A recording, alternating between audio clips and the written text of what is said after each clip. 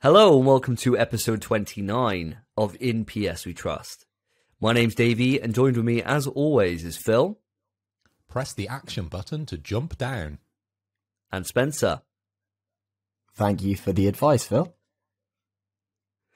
So we're a fortnightly PlayStation podcast and we each bring one topic of conversation to the table to go in depth on. But first, before we get into that, boys, what are you drinking? Right, as tradition dictates, I start. This time, I'm on the ciders. But, Oh, Okay. yeah, I always go the Asda, and they usually have a four for six. Which means you get four for, no. Yeah, you get four bottles for six pound. However, they've changed it. Now, it's four for three. So you get four items for the price of three. So it's the cheapest item is free. how does that work out? Have they fucked you over with this new this new meta? I thought they did, and then I realised they're two pound bottles. So the cheapest one being free means it's four for six pound. oh, that's decent. Oh, it's exactly the same. Still, that's that's not too bad, I guess. Well, I suppose if you're getting something a little bit pricey, then it's going to start racking up, though, isn't it? Yeah, it is. But if you're getting that posh stuff, that's why you want to stick to, you know, like um, White Star. You know, you want to get on that stuff that's like a pound a liter. That's the stuff you want. The stuff that if you want to peel wallpaper off, you just spray on your walls, and uh, oh, lovely. Imagine drinking four bottles of white cider during a podcast. I don't think any of us could take that really. Well, we got the big quiz next week, Christ. so uh, who knows what we're going to do for that one? Remember, you just bring your own rules to that. So if someone brings in a White Star rule, we're all going to have to obey. Jesus Christ. So what side did you go for then, Spence? Right, well, this is where Asda let me down. Because usually I'll go for an old mount. However, Okay, great choice. great choice, great choice. However, they only had one flavour of old mount. And I did grab two of them, berries and cherries. Great flavour. Lovely cider. But because of that, I had to grab Kopparbergs as well. And I've never been a fan of Kopparbergs. But they're okay. They're just worse They're like- old mounts. Yeah, they're like a decent alternative, aren't they? What's that one? What's that one that's got the um the proper crazy name? Um, Record, Len. Recorder Oh, leg. record that's like the one. That's that's the top tier. That's that's like the proper highbrow stuff. That's what I like. And Old Mac's just under that. So, um, and- but I like the um, I like the one that's like um, kiwi and something. Oh, kiwi do. and lime. That's a that's a banger of I'm a not a fan of that. Nah, berries and cherries, passion fruit. I got raspberry. Yeah, raspberry's okay. I was gonna say this is a joke for the visual only listeners. Yeah, Mum, can I have a Rekorderlig? We've got Rekorderlig at home. Rekorderlig at home. it's true. It's true. It is so true. It's so true. It's it's like a backup bitch, but it's not one that you're like ashamed to go home with. It's like an okay one. It's all right. It's all right. She'll do. She'll do. And what about yourself, Phil? What are you on today? Uh, well, Davey, um, I've kicked off tonight uh, with a couple of uh, Budweisers, pretty standard for the show. I know Spencer used to be sponsored um, by them, but that's since passed over to me. Uh, so thanks, Spence. Cheers for Welcome, that. mate. And I'm also mixing that with some wild fruits, courtesy of Beyond NRG. So what is that? Is that like uh, is that like an energy drink thing? Well, I was fortunate enough to be chosen by the lads at XL. Cheers, Lance. Uh, to receive a Beyond NR- NRG uh, drinks pack. So I'm trying that tonight. Starting off with the wild fruits. I'll let you know how it goes throughout the cast. Um, I've got a couple of different flavors to try throughout uh, recording tonight. So we got the lemon sherbet, the strawberry watermelon and lime, and something called Space Rocks. Space rocks. What does Space Rocks taste like? Well, you're about to find out. You'll have to tell us all. So you're gonna be literally, if you have three of these different flavors, you're gonna be bouncing off the fucking walls later. We better make sure that we put in like a Death Stranding button, because otherwise it's gonna be coming up every five fucking minutes. I swear to God. Well, what I'm hoping for, as I'm mixing it with uh, a couple of buds tonight, and we are recording on a Thursday and I'm working Friday, I'm hoping this doubles up as a hangover cure. So, beyond, hopefully that works out. Otherwise, I don't know what I'm creating. Energy drink and alcohol. It might be even worse tomorrow. I'll let you know. Do you remember when we did that when we were totally pissed up that one time and we put pre-workout in with like a vodka a vodka lemonade? Uh, no, no, it wasn't a vodka lemonade. I think it was um, a Jaeger bomb and pre-workout, but it was the special pre-workout that I'd bought from America, which you couldn't buy in Britain because it had certain substances in that were like illegal or something. It's right? banned, wasn't it? It's banned over it. a banned substance, they would call it if we were entering the Olympics. Um, and I think that was the night you fell down my stairs and nearly knocked my mum over. Pretty much. Yep. So that was the uh, fallout of uh, mixing those two things together. So hopefully, well, I'm pretty lucky actually. The bedroom's next door, so I don't actually have to go downstairs at all tonight. So I won't be uh, tackling any of that during the podcast. Oh, well, that's good to know. That's good to know. For me, guys, it's way less interesting than you lot. I got work tomorrow. I'm not drinking. And so I thought, you know what? I really fancy like a Pepsi. I really fancy like a multi pack of Pepsi. And I got in. What? Why are you doing that face for? What? Wait, wait, it depends. Wait, wait, wait, it depends. Carry on. Pepsi Cherry. Yeah, Pepsi Cherry. Of course, course, course, course, course, course. Even Pepsi Max is decent though. Nah. I'm not having any slander against the Pepsi Max on the podcast. Nah. Anyway, so I was like, yeah, I'm going to pick up like a nice multi pack of that. That would sort me out, right? That'd be a nice little, nice tasty beverage rather than the squash, which I typically have on the podcast on a sober night. Got there with this craving, this ungodly craving for a cherry. And they didn't have any. So instead, no, not worse. I had to go for a Coke Zero cherry. What kind of madness is that? It's fucking tragic. It is the worst choice I could have possibly ever made. I wish I was on White Star tonight. That's how bad this choice is. It is so poor that I don't know what I've done to deserve this in a past life because I must have done something really bad. I must have I must have like burnt down a school or something in a past life to to get this kind of karma. Go and get yourself a beer. Innit? I was going to say this. Do you not have anything in your fridge? No, I mean the only things I, what am I going to drink? Right, I could have Jack Daniels and mix it in with this. I don't know. if That's gonna might improve it. Can can I deliveroo you something? Yeah, you might be able to. Is there like to. an alcohol delivery service where you live? There's uh, There's Asda grocery groceries. stuff, yeah. And we could see if it turns up throughout the show. oh mate, you're more than welcome. Asda groceries me up, mate, I'd be I'd be much I'd be much appreciated at that. Honest to God. Because I know back in the day when, when we used to live in Caldecott that you could ring the um, the Indian down there. What was it called? Night of Bengal. Shout out, guys, if I'm ever in there. Um, they used to deliver you wine and alcohol if you uh, asked nicely. Yeah, So uh, at maybe a you house need that sort of hookup. I'll tell you what. Yeah. If you do it through Uber Eats, I've got a 50% code. Well, here we go, listeners. If things get too drastic, and then you start seeing me switch over to either like a Mateus Rosé that I bought from the Indian or something of that nature, then you know what's happened, all right? You can tell. and for you audio listeners, I'll let you know. I won't leave you blind on this. But I think it's time we move it into what we've been playing.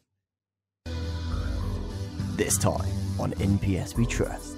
What have the boys been playing? Okay, so it's been two weeks since the last episode, guys.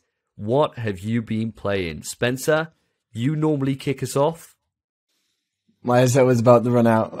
Apologies, listeners and co-host. Just edit it out. Nah, it's funny, innit? it's funny. What do you mean? I was What, just a bit scrambling. Dead air. yeah, you're editing on this one, Spencer. All the all your blunders you can edit out. Leave our blunders in it. No, I think it's funny. Especially for, now that we have the visual as well. For the visual watchers, let's say, for the watchers. For the watchers, for the listeners. That's a good Yeah, bit of content hashtags. for him. That's a Twitter moment, I reckon. Fucking hell. I don't know who you follow, mate, but I don't want to know about it. Anyway, so what have you been playing? Um, right, this is where the podcast is quite hard for me. Nothing.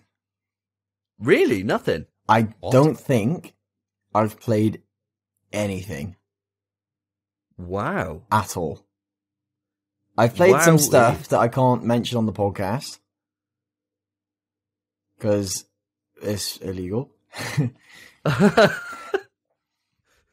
Wait, Because You for me to to make explain it, I'd have to. He's Uh, playing Xbox games. That's what he's been playing. He's got his 360 out and he's playing bloody Halo. Come on. I'd actually, you know what? Fuck Nintendo. I'll say it anyway.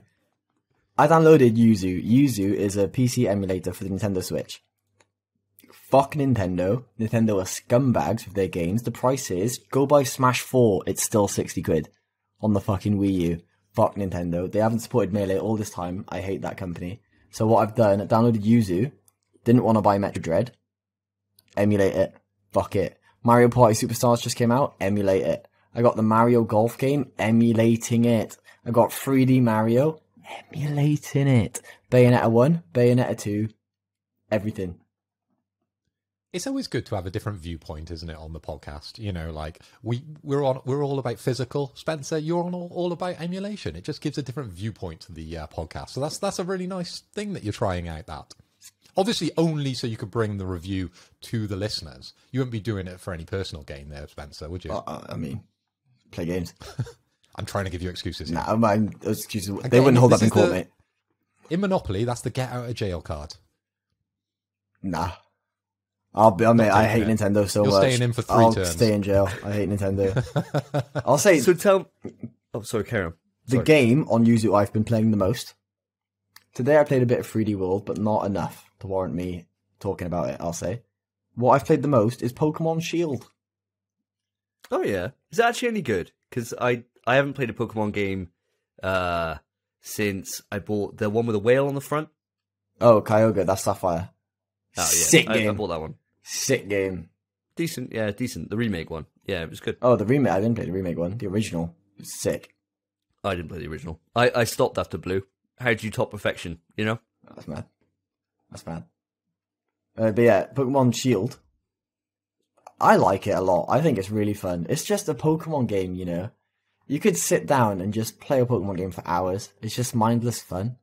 But they, a lot of people complain this game's too easy. And I think that's because when you uh, kill a Pokemon, you knock out a trainer's Pokemon and you rob them because they give you like three grand every time you beat someone instead of the Pokemon that killed their Pokemon getting XP, all of your Pokemon get XP. It's shared XP. And that used to be an item they had in the older games that would do that, but now it just happens. I'll let you know the reason why. Go on. The reason why Pokemon games have got so easy is we've all grown up. They were very difficult as a kid. You just get lost. You just go around the same town hunting the same Pokemon. Wouldn't really understand the story because you wouldn't read any of the dialect. Now we're all older and we read things and like we get how a Pokemon game works. I've got Shield. No, actually, I've got Sword. That version of Pokemon. Hmm. And yeah, it's it's it's easy and it's easy as Red. As easy as all the Pokemon games I've ever played. They are easy games. They are easy games, but this is easier because the mechanics make it easier. It's shared XP and you don't have to know Pokemon types. Because if you've battled a Pokemon once, it tells you which of your moves are effective against it. Rather than Oh, you having to know. Yeah, the, it tells you in the game. Oh, that's lame. Yeah, I mean, I mean, people always say that Pokemon's like baby's first RPG, and it is true. It is true. Like it really is. It's a really simple, watered down RPG, but it's really fun. I mean, there's a reason why the series is really popular and and sells as much as it does because it is fun. It's really addictive, just kind of just relaxing gameplay to a certain extent. But that was always the fun I found with Pokemon was figuring out which moves are effective, and especially for me, I only really know the original like 151. So anything after that's a total mystery to me. So I don't know if something's like a fairy and dark type or whatever, because that didn't even exist when I was when I was into Pokemon, you know. So it's How how well do you know the 151, David? really well, really. 69? really- Oh god, I can't name the numbers. I can sing I you all you the would know songs though. 69. Come on. Sing you all the songs you say. Are I you can sing give all us the a songs poker you rap? Yeah, I What's could a do you a Poke Rap? Poke Rap. I could do you a Poke Rap. Do you reckon we'll get YMCA'd for that, though? Yeah, probably. You yeah, keep with saying how, with how YMCA. accurate it is. Why I know. these He, jokes? he, he loves saying YMCA. For, I just uh, thought it was funny. It is funny, it's class. But yeah, we definitely would. It'd be so accurate that they'd be like, "There's no way they didn't just rip that off and put that on." Just like when I was singing "Danger Zone" last episode, and they thought that was somehow a recording. I just don't. I just don't get it. But what I want to ask you then, Spence, with you playing all this, all these Nintendo games, Bellsprout. that's what it is. It's Bellsprout. It's crazy. one of my favorites. What a top lad he is. Um, yeah, with you playing all these Nintendo games, how is Dread? Because I've got it here. It's still wrapped. I just Yeah. haven't had time because I've been doing YouTube stuff, um, and I'm hoping to have a chance to sit down and play it this weekend. Does it hold up to what everyone's saying, where it's one of the best games of the year? I haven't played it much. Um, I've only played it for maybe an hour or so. I've really not put too much time into it, only a little bit. Um, so far, I love it. It's really cool. It's really fucking cool. There are some like stealth mechanics and like situations where you have to run and it just feels so sick. You have to try to get away. The, your, your movement options are awesome. My main issue is that because I'm emulating it, to free aim in the game, you use the left bumper on a pro controller. But because I'm emulating it, I'm using my GameCube controller, which doesn't have one. So what I'm having to do, I bound it to right on my D-pad, because that was the only like free thing. So I have to hold right on the D-pad, then move the stick with like, like it's a clitoris, you know, with my pointer finger, and then shoot with the other end. I've got a quick question. Seeing as we are a PlayStation podcast, and I, would like to relate it back to uh, you know the games that some of our listeners probably are playing. Um, you didn't like Fist, did you? And Fist is a very similar game to, to Metroid Dread. How do you think the uh, two compare? Because it sounds like Metroid Dread is a relatively interesting uh, experience for you. You're enjoying that, but you didn't really get on with Fist, did you? What What are the sort of key differences between the two games? Would you say? Um, uh, it's it's not even that hard to say actually. The movement's just a lot cleaner there, there's like actual good cutscenes because there aren't really very good cutscenes in Fist. Oh, they were they were just yeah yeah not they great. were probably part of the worst thing yeah in Fist really. Uh, and I think me and Dave echo that statement really. Yeah, I think Metroid's just a very polished version from an experienced IP, and it's just it's a good game. I'm I'm looking forward to playing more. I did want to keep playing Fist. I just got bored. And I thought if I don't play, I'll probably never go back. I stopped playing. I've not gone back. I haven't played Days Gone in two weeks, to be fair. so I, am terrible at playing games. I'm bad at it. I suppose the thing is, sometimes you go through fits and starts though, and there'll be some weeks where we, you know, we're, we're fucking cutting stuff out for what we're going to talk about, what we've been playing, because we've been playing so many different titles. Yeah. And there's other weeks, I'm, I'm much the same as yourself, Spence, if, if I'm honest. There's really sometimes I come into this and I got so many games to talk about, and I, I kind of whittle it down to only talking about maybe three. This week, I'm kind of struggling because I haven't played an awful lot either.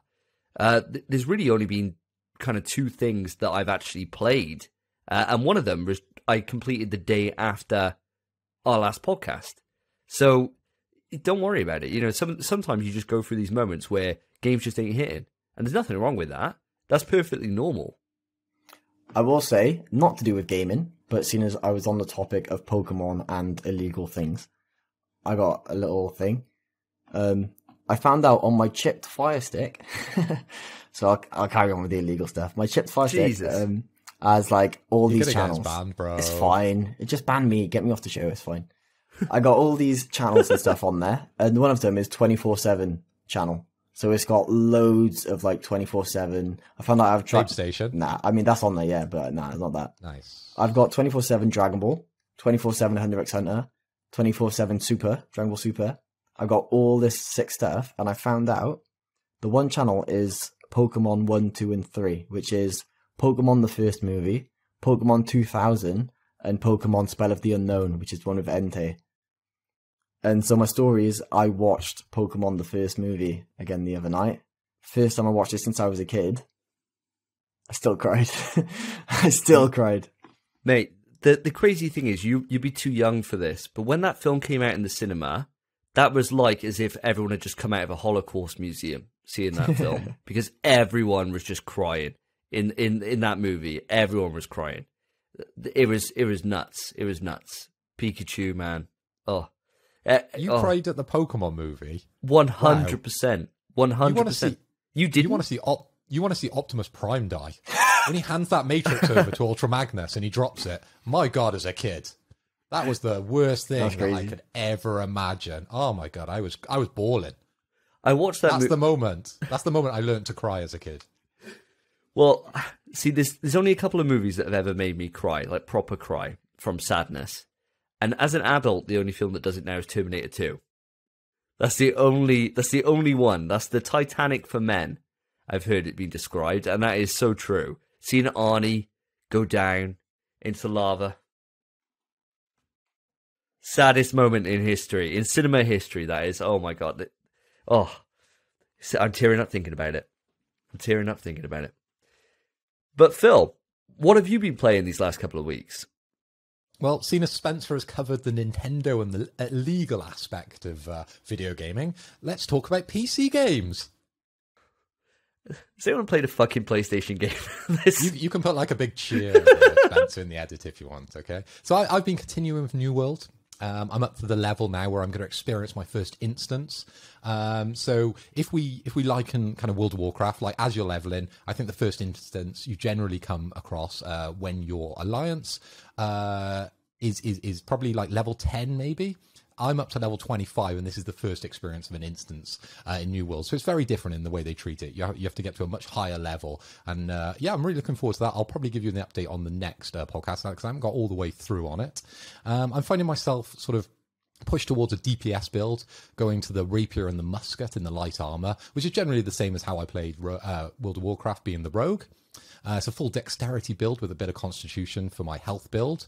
Uh, and as I said, I'm I'm getting on with the game and and, and really enjoying it. It's uh, one of the games that you don't feel pressure to play like you did with World of Warcraft, purely because it's not a rental game. You've bought it and you can just play it when you like and level when you like. Of course, all the people that I play with are now level 60, so they're all doing the end game stuff, but there's not a lot of end game stuff in New World just yet. Um, so I think by the time they start introducing the higher level raids, I'll be up at 60 at that point. But um, yeah, still keeping going with the PC gaming on, on New World. Have you managed to find any sea shanties yet? Or are they still just out of your grasp? I think just out of reach. They're probably level 30. I'll probably get to a sea shanty at 30, maybe. Okay. Fair enough. Maybe when I've finished Amrine e- excavation, I'll get to level 30 and then we'll see some sea shanties. Maybe that's what you do when you, you finish an instance. Maybe that's the... I, I hear it's quite a challenge, actually. Maybe that's the end game. Maybe that's what it is. It's the search for the sea shanty. And that's when you go off onto the pirate ships and then you get all the Pirates of the Caribbean music all the time.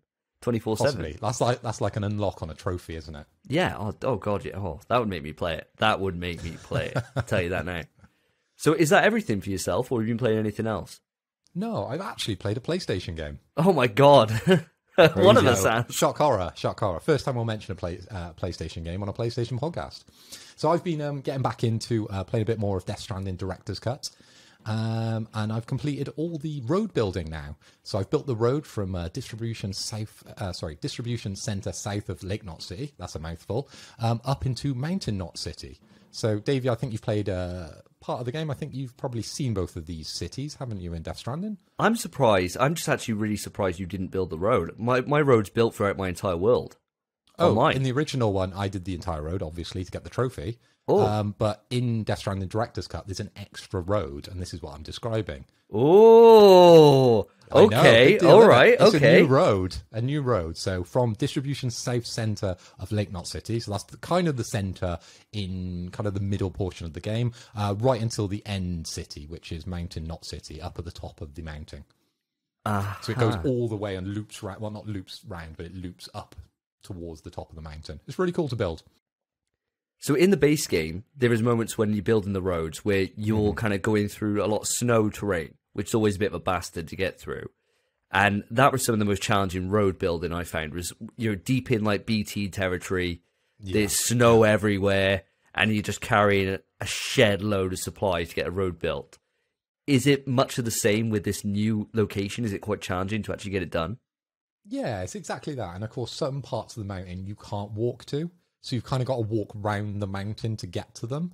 So that makes it challenging in itself. But of course, I am sort of end game in Death Stranding. I am just doing the director cut parts. Um, so I think if I had tried to do this a lot earlier in the game, I don't think I would have been able to manage it. I think you need to get to the end game and sort of have all the optionality of all the uh, add-ons and kind of you know the the, the sort of power ups you get throughout the game uh, to be able to achieve that. So uh, yeah, it is a challenge even now at the end game. But I think yeah, you would you would need to be finish most of the game to be able to do that. So are your thoughts still exactly the same as they were in terms of just really loving this and just really just kind of getting it, uh, getting re-enraptured with it? Not like you weren't already enraptured with it. You go on about it all the time, but Have you seen the T-shirt I'm wearing tonight? I have noticed the It's literally my t-shirt. Death Stranding T-shirt because I knew I'd be talking about this. But um, yeah, you know, even to back this up, they they they, they filled it with uh, Half-Life references. Um, there's a new, a new mission uh, setup which I'm going through.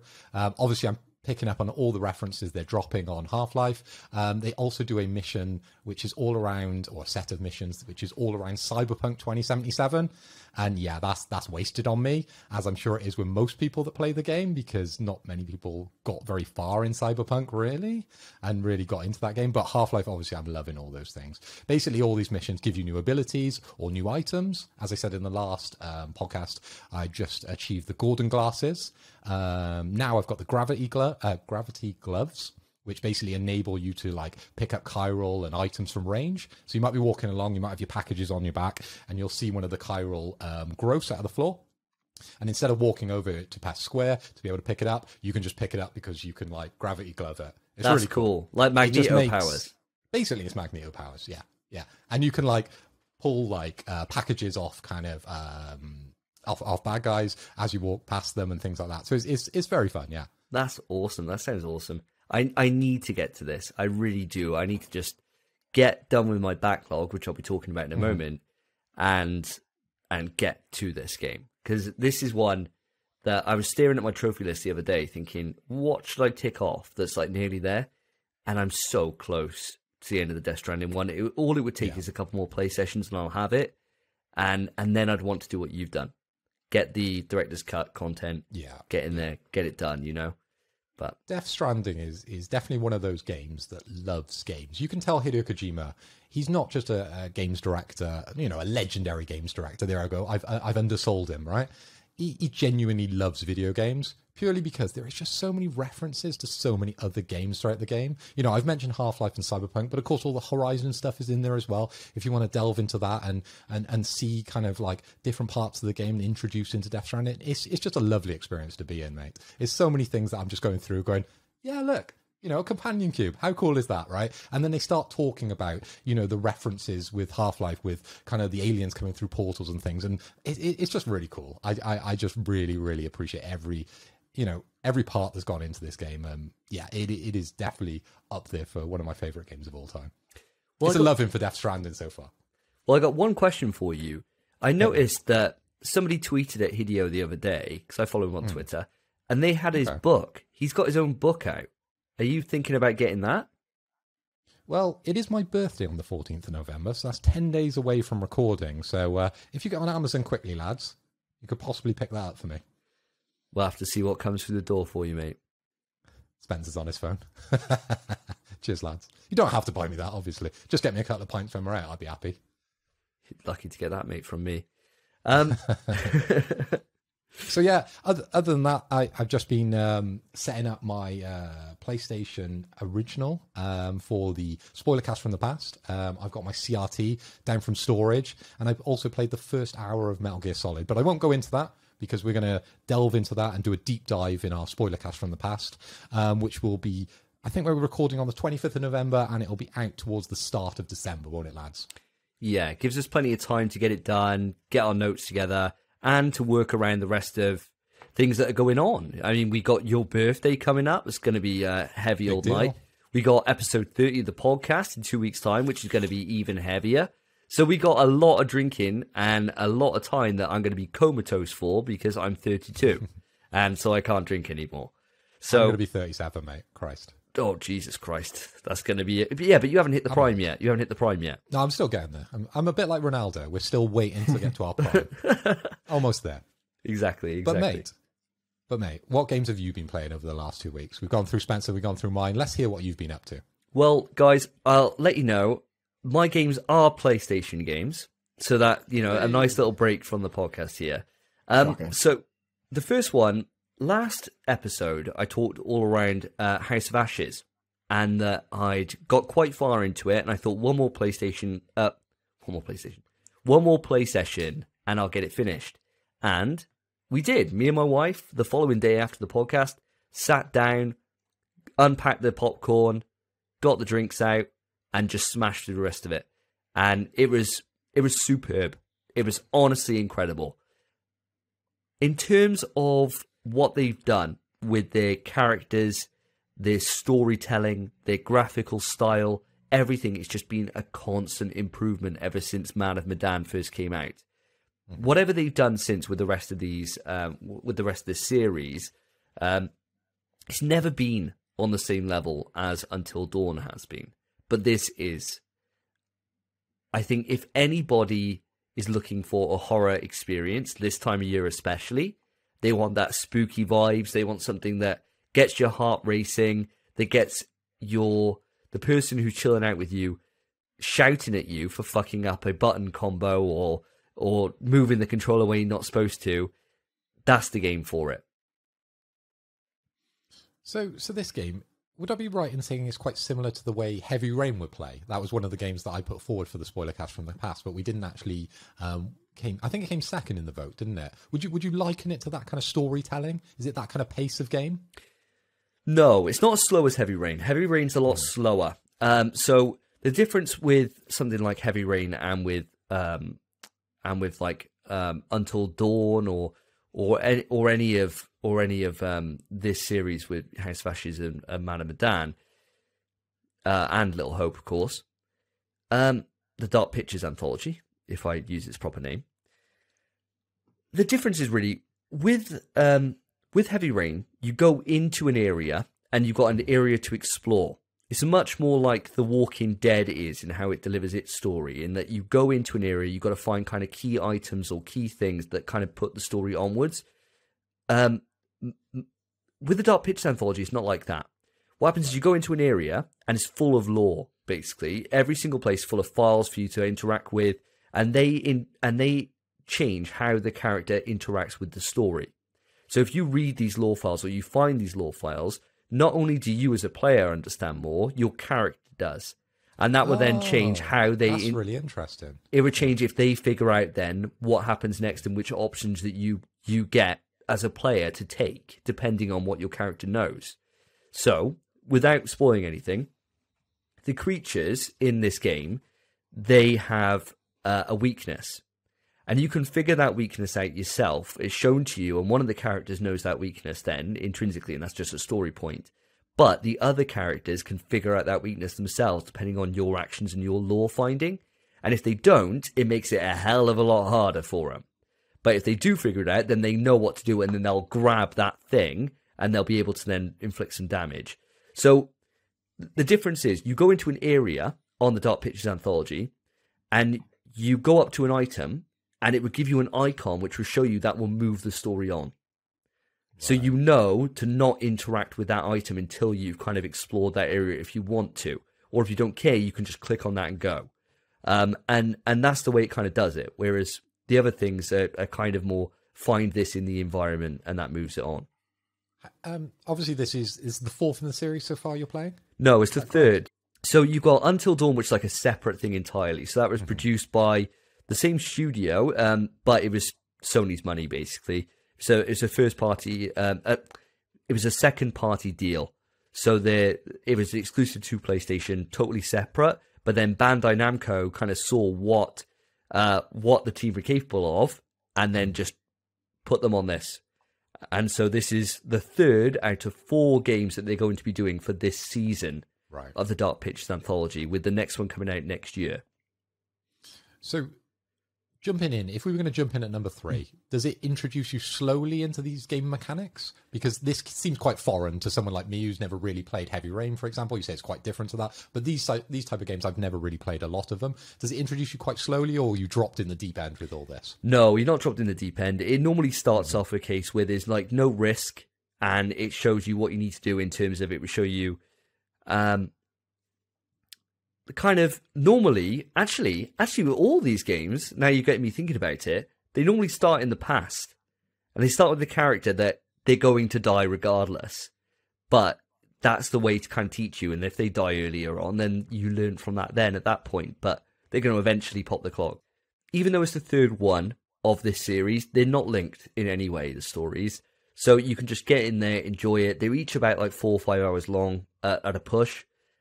And just enjoy it. They're just fun stories. And the thing about it is, this is where they've peaked so far. So what I would say is start with this one And if you don't like this one, you sure as hell ain't gonna like the others, because this is the best one by a landslide. Um, I don't think it's as good as Until Dawn, but it's close, and that's a lot more than you can say for Little Hope and Man of Medan. So that's the first thing. And then the only other thing I've been playing, guys, I just put a review out for it, uh, and it was Resident Evil Outbreak. So I've been playing that all week, and I can say that here because we are still we've been playing. Of course. I, I do it on purpose now. It doesn't surprise me as much as it used to maybe five episodes ago when you mentioned it at the start. I was like, shot, shot, shot. but not anymore. All I got to say about this, guys, we need to get together and play Outbreak. We need to do it. Spencer, as the master of stealing content, I'm sure you know that there's a way to emulate this game. Already got it up and working, mate. Of course he does. And I'm logged into the forums. I've already got access to the servers. It's sound. Listeners, basically, just to fill you in for those that don't know, Resident Evil Outbreak launched in 2003 over in Japan. And then it came to UK and US and all the other territories in 2004, spread over the over that year. Now, for us in the UK, when it originally launched in 2004, we never had an option to play online. We just didn't get it in the European regions. Um, but even though the servers are long gone, there is a way to play this online now. Really easy to find out how to do it. It's a fan, it's a fan funded server. Just go onto YouTube and just type in Resident Evil Outbreak 2021. There's a guy who's got a video up on there which is sensational. It guides you through the entire process. Really, really easy. Do it. It's just Resident Evil, classic style of Resident Evil, tank controls, puzzles, limited inventory, hard difficulty, but you got your buddies with you. That just sounds epic to me. It sounds like you're reading from the script from your video because I watched it earlier and it's it, it is very good. Um, but if any of our listeners haven't seen um, your channel, uh, they should put SSJ Davey into uh, YouTube and his his channel will pop back up. He does quite a lot of uh, different Resident Evil uh, videos, don't you? And you've got up to Outbreak now. I think Outbreak File Two will be your next one.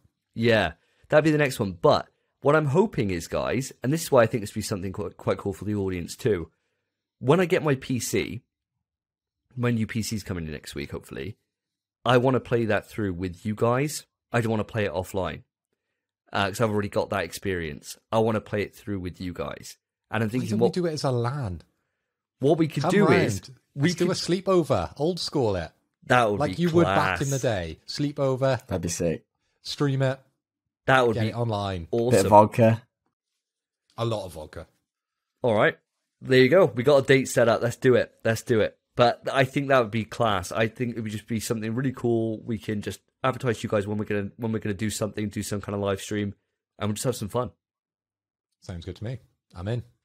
So Although it's going to be difficult to talk about it on the next show, so maybe we'll just have to keep it to what we've been playing. We won't have a whole section about it. No, no, definitely not. But that's everything for me. I do want to kind of inform you guys that the game collection has come through again. Vanguard just arrived on my door. We're recording this on Thursday, the 4th of November, so we're recording it earlier than we normally do. A day before Vanguard comes out, I've got it. I haven't had a chance to play it yet, listener. Trust me, I will be playing it as soon as we finish this podcast. So, next episode, I will be filling you in on how it stands up. And so, on that bit of news, it's time for us to move into quick news. Quick news. Quick news. So, the PlayStation Plus titles for November have been announced. Firstly, we have Knockout City for PS4 and PS5, First Class Trouble for PS4 and PS5 as well, two PS5 games, big, Kingdoms of Amalur Re-Reckoning, PS4 title, and also three PSVR games. We have The Persistence, The Walking Dead Saints and Sinners, which is fantastic, and Until You Fall.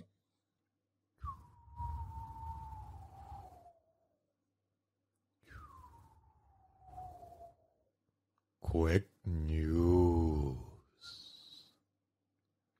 If you're mental and you don't listen to the music that the developers have intended on video games, and you don't have Spotify, you can now listen to Apple Music on PlayStation. Quick Quick news. Returnal has had an update, and finally, what people want has happened. We've now got a suspend cycle, so you can pause the cycle and resume at a later time. you really enjoyed that one, did you, Spence? You really enjoyed the kazoo? That really caught me off guard, mate. I wondered That what really doing. caught me I- I off thought you were guard. Just like need a pencil or whatever, right? No, I was just like, I was like, what am I going to do? And I remembered, I got kazoos. So, sorry, listener. Sorry, listener. This is what happens when you got a three-year-old. This is you just got random instruments around the house. Uh, anyway, yeah. So going back to it, Returnal, we got suspend cycle. So it means that if you're having a, a crazy killer run, you can now save and come back to it and resume where you left off, which is great for those that really want that. Uh, the good thing about it as well is that you can't really save scum it. I, I know people have found a way around it, but it's designed to not save scum. So when you load it up, that's the end of that save, um, and, and that's it really. Um, and you've got a full photo mode, and I've been really enjoying seeing people post their pictures up because that game is stunning when everything's flying about the place. And I'll look forward to seeing yours. Quick news. Just had to find that. Sorry, lads. I don't know. I just want you. You doing something reminded me of something stupid, and I wanted it. I don't even know when it. There we go. Warner Bros. So Warner Bros. are apparently working on their own Smash Bros. esque platform fighter. If true, expect Batman vs Gandalf or Shaggy vs Fred Flintstone in the near future. I'm a fan of platform fighters, so I'll definitely keep my eye on this in the future. Quick, um, quick, um, quick, um, quick news. Sony has formed the label PlayStation PC specifically for its gaming PC operations. This signals that Sony now intends to take PC gaming seriously.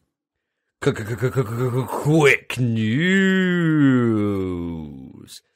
At the end of the previous Dark Pictures game, they always show a trailer for the next one, and House of Ashes was no different. The next Dark Pictures game and the end of season one is the game called The Devil in Me. It looks very Sawish, and it's giving me proper slasher vibes rather than something supernatural, which is different from the rest of the series. The trailer for the rest, the trailer for the next one is online for you to view. Check it out. Looks really fun. Hope you're all ready for the sickest platypus impression you've ever heard in your life. Quick news. It's a fucking cat. Nah, oh, it might be. Yeah, a little bit of a purr, you know. You ever see Agent P? No, You know? no, Phineas and Ferb? no, mate. Before my time. You just semi-aquatic egg laying mammal of action. All right, yeah, yeah, okay. Amy Hennig, who wrote for Uncharted 1, 2, and 3, was rumoured to be working on a new project with Skydance Media back in 2019, and it's recently been confirmed to be a Marvel game. Though it hasn't been confirmed what type of game or featuring which character, I think it begs the question, are we getting too many Marvel games? Quick news. Quick news.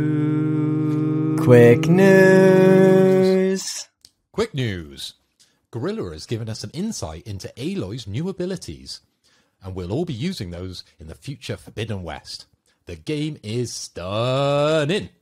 So make sure you go and check out that video. It'll be in the description in the podcast.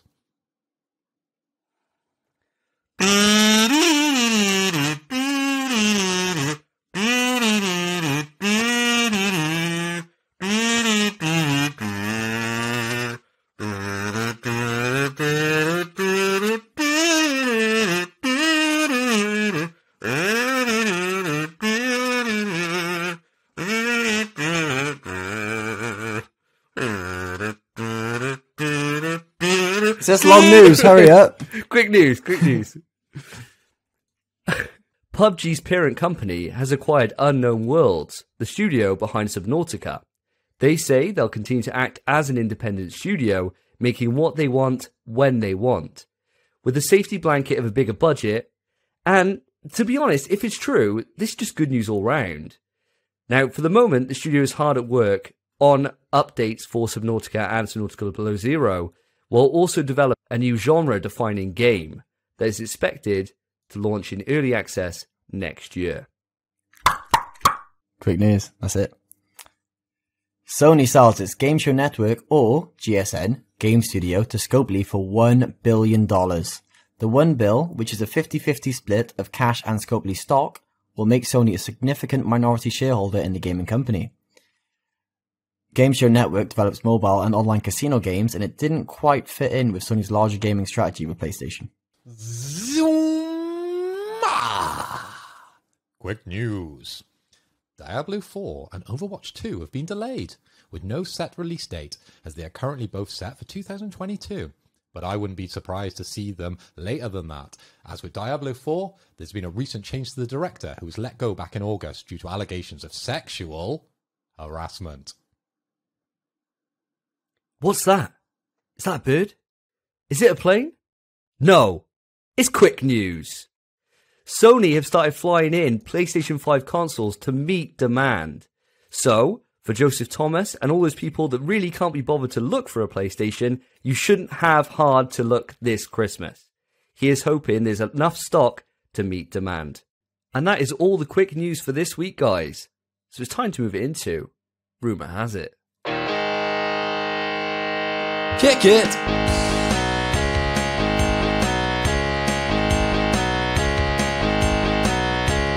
Wake up with a rumor and you don't wanna go. You ask if it's confirmed and they still say no. Love that jingle. Love that jingle. So, boys, we've only got one rumor of the evening. Surprise, surprise, usually have more. But, rumor has it, even though the latest Call of Duty game, Call of Duty Vanguard, isn't even out yet. I know Davey has it, but it's not technically out. The next Call of Duty game's already been leaked. Have you boys seen anything about this?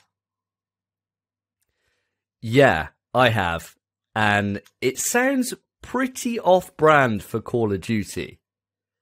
So, what have you learned so far then, Spence? And we'll see if we can sync our thoughts up a little bit before bringing in Phil. Okay.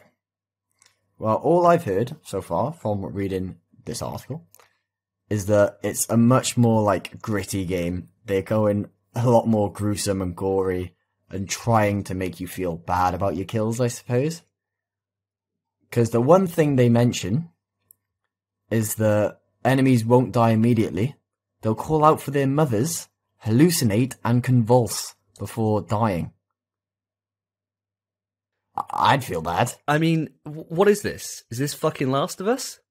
It's ins- It's crazy. It's insane. It's actually insane. I mean, the things the things that I've heard so far is that the there's like a morality system. So much like um, uh, in the GameSpot article I've read, it, it mentions uh, uh, Red Dead Redemption. Obviously, that doesn't mean anything to me. So I'm going to go base it around something I do know, which is like Infamous. Um, so like a morality system whereby you know you kind of make your choices and and that goes from you know and, and it goes where it goes. But also the guns jamming so much like Far Cry 2, and that fucking pissed me off in Far Cry 2.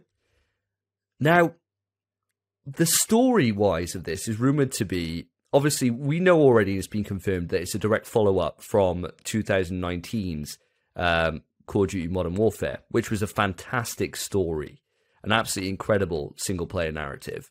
So, following up from that is great. That's really, really welcome.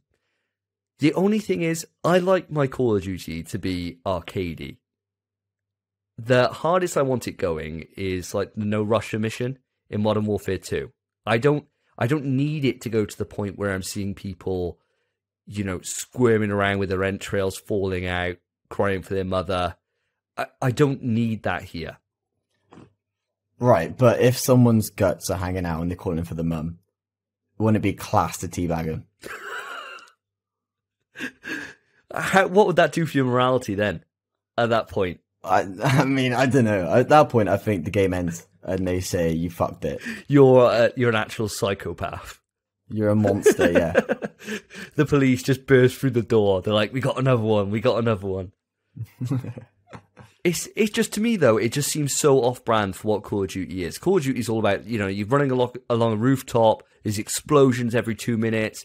You know you're chucking a grenade, uh, sliding through like a door, and then taking out like four different people, and and that's what Call of Duty is to me. It's not this hyper realistic thing. and that just it interests me. I'm not going to lie. This does sound really, really interesting. Um, and it is nice when studios take risks, which is something that we talked about on the podcast quite a lot. You know, studios taking it in a different direction for what they're normally known to do. So it will be a brave decision for Call of Duty to, to straddle this line. And obviously, the multiplayer isn't going to be changed. They're not going to be changing that. This is more for the single player story than anything else. But it does have me interested, but it also has me worried. Now, Phil, I know you're not a massive Call of Duty fan. I mean, you played Call of Duty back in the day with me. What does this do for you? This kind of this kind of change in direction. Would this be something that would get you into the series? Um, from what you guys are saying, it sounds like they're taking a more kind of realistic uh, approach to uh, Call of Duty, which, to be fair, I, I quite welcome. I, I, I like a bit of change, and it seems like I don't want them just releasing the same thing over and over again. They need to innovate, and I quite like change. Um, so yeah, I, I'd be very much for up for uh, giving this a try. But my question is, with what you've been explaining, is it a step too far, too early? I personally would say so. Yeah, I would say this is such a such a change that is it even Call of Duty still at that point? You know, to go to go this hard into it, like you can tell a political message, you can tell some hard hitting stories without it going to Last of Us levels of goriness and extreme, extreme suffering you know, hmm. in Last of Us' world, it makes sense. If everyone just fell over in Last of Us, it would be weird. Whereas, you know, you bash someone's skull in with a brick in Last of Us, it's visceral. And I don't know. I don't know if I want to see a grenade and see someone explode into like a million pieces. I, I, I don't know. I, I just think that's going to not vibe with me. I'm, I'm the same as you, Davey, right? My COD experience and my perception of COD has always been it's an arcade shooter. You know, you run along, shoot someone in the head, you might see a bit of blood now and again, but ultimately they just disappear and they respawn and they're back in the map, right? But for that to jump, I know we're talking about the story here, but for that to jump to the point where I'm actually seeing blood and guts like spilled over the floor, then I'm going to start thinking about should I be killing these people? And maybe that choice maybe comes into it a bit more. You know, ultimately is yes because we're online and fuck everybody's mums. I'm going to kill everyone. But and it's God, of course. Like who cares, right? But to see that, I might question it a bit more. And you guys, quite an interesting one. When we're talking about the morality system, I know we touched on this uh, last episode about China and them not liking people having that choice. How's that going to work, guys? That's a fantastic question. Um, shit, I don't fucking know. I'm not Chinese. I don't know. I think that's a fantastic question. And I suppose this is one of the things that kind of goes against it a little bit in, in my eyes. I I don't believe this rumor personally. I, I, I don't believe it. I believe that it's a cartel story. I think they could do a lot with that, especially with the influences of um, uh, that they've listed in this article, which is quick Google on this now. Pull up this article and tell you what they're rumored to have been influenced from. I don't have a fucking clue. Nothing else to do, so that's all ask Google. Right, so what they're saying is that it's this is nuts to me. This is what it says directly from GameSpot here. New information, new information suggests the campaign will take inspiration from movies like Traffic, No Country for Old Men, and Sicario, and is described as gritty and unrelenting. Like those movies are dark. Well, No Country for Old Men is, especially is gruesome, and I- I can get the vibes from it, right? Because you could tell a really, really good story. You could get like a a Far Cry level villain in a story like this, and it'd be really effective for Call of Duty, just like Modern Warfare 2's campaign was. That had some amazing twists in it, a really great story, and to be fair, the last two Call of Duty games that I've played in Modern Warfare and um, last year's Cold War, the stories there are great. So I think having it themed around this environment would work really, really well. It's just I'm going back to that hyper realism. I, I just cannot see that here. Unless, like you said, Phil, it's an option that maybe you don't have to go lethal. maybe you don't have to kill everyone. Maybe it's a case that you can do it stealthy. Maybe they're totally changing Call of Duty. But to me, with a studio where they pump these out every three years, these games, is that enough time to radically introduce all these different gameplay elements into Call of Duty? Probably not. Sure, you've got stealth missions when like um all gillied up, and um, there's always one stealth mission, but the stealth isn't exactly much. So to get it so that you can go full non-lethal or something of that nature, so you're not just murdering people left, right, and center and creating donut holes in the center of their chest with a shotgun. I, I, I, I'm just having a hard time. I mean, where are you falling down on this, Spence? Are you actually believing this to be true, or are you falling on a similar line of thinking to me? I think it's all true. However, I don't think it will end up in the final release of the game.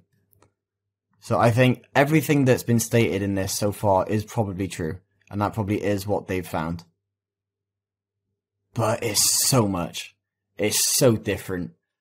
I don't think it'd matter too much. The guns jamming is what's important, but if that's campaign only, that's fine. I'd imagine that only happened in certain scenarios or certain cutscenes. And that's fine. The gore is completely fine to be in the game. Because since Call of Duty 5, I think, you've had limbs being blown off. World at War, you literally had your limbs exploding. Now, if you get hit by a grenade, you turn to slush. It even happens Yeah, now. but that's different from you know shooting someone in this in the face and seeing their like face actually like contort into their body like it is on The Last of Us, right?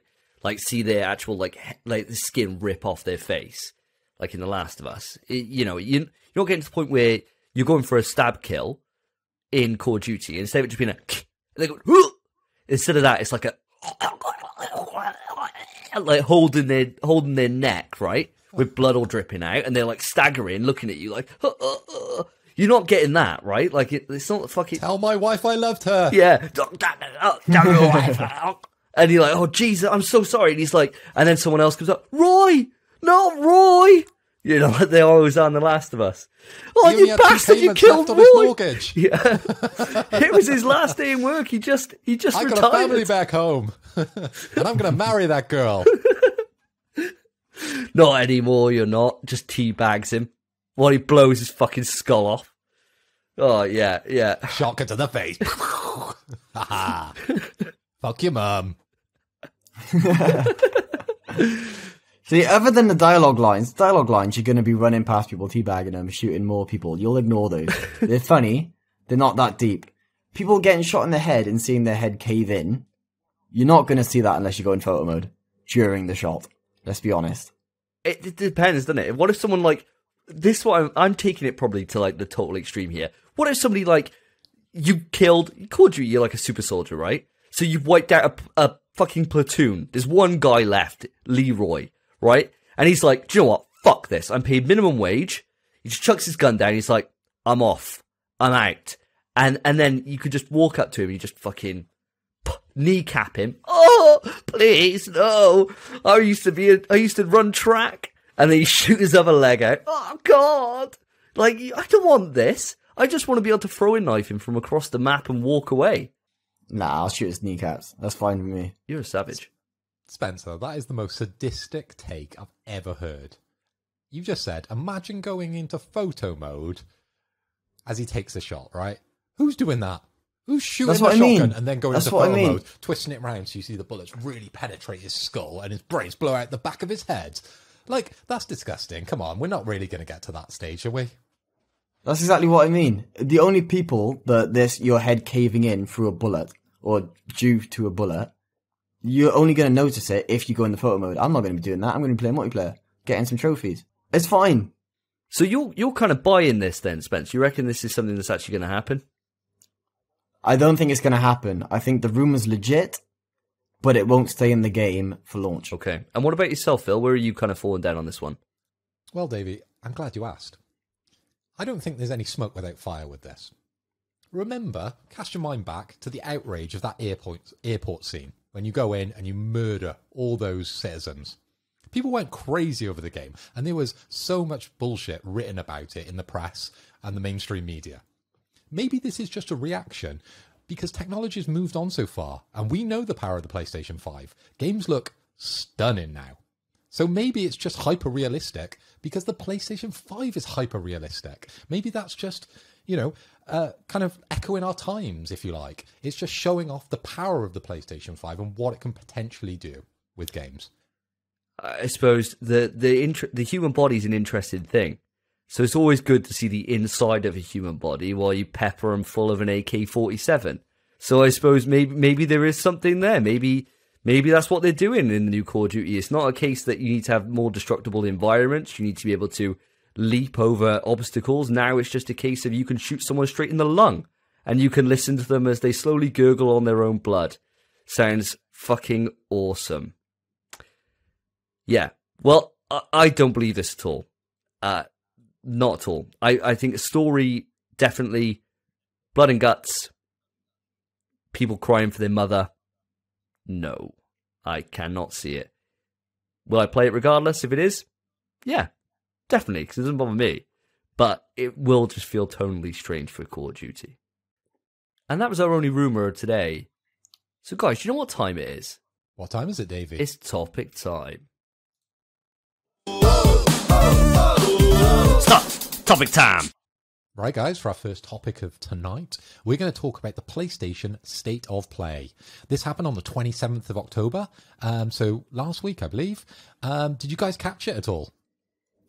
I watched it. Yeah, uh, fantastic. Yeah, I loved it. Yeah, great.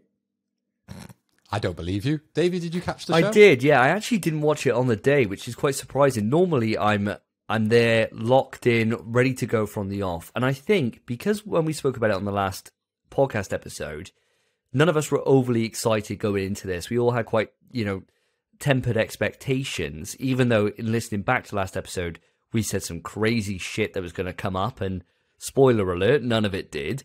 Uh, you know, we were talking about like Elden Ring. We were talking about like all different things that could potentially come up, and In my defense, it came out like a few days a- later. a, week Come on. later. But yeah, oh, That's a shot. Not sure. Well, you ain't all doing shots. There's no shot. I was going to say, Davey, I didn't see you doing all the peppy lols in the chat there. So, uh, yeah, you actually missed out on the day when it came out. Um, but, guys, personally, I didn't really enjoy it that much. There wasn't too many games that had, you know, a lot of interest for me. Um, but I'd like to get your rankings um, before we dive into this uh, little section of the show. Um, so, out of 10, what are we scoring it straight off the bat, guys? Spence, do you want to go first? sure, mate. Fucking hell. I want to say two, two out of ten, but I'll give it a three. I'll give it a three because one game. Don't know if you want me to say it yet or not. One game saved it for me, and made it a three instead of a two. it didn't save it much. Davey, what are we saying? I'm going to go for middle of the road on this one. I'm going to go for a five out of ten. And Oh, wow. the reason why I'm going for a five out of ten is because I always think about it that a conference should be like a shotgun blast, right? Not every pellet's going to hit, but the ones that do, that's a good time, right? Well, obviously, if you're on the receiving end of the shotgun, that's not good at all, right? That's actually really bad. But uh, Not not in the latest COD. yeah, That'd it'd be terrible. really bad for you. But for me, there was a few things that actually stood out to me that I thought, well, that looks quite interesting. And I suppose that was all this was really for me was it was something to kind of gauge my interest and something for me to think, hmm, I'll keep my eye on this. I'll see where this develops. Nothing that I was like overly crazy excited for, but I went in with such low expectation that I came out of it just a, a total meh. I wasn't disappointed because I didn't expect there to be anything there. It was wasn't great, but there was some things that I did quite like. So I'm going to go for a five out of ten on this one. What about yourself, Phil? What are you thinking?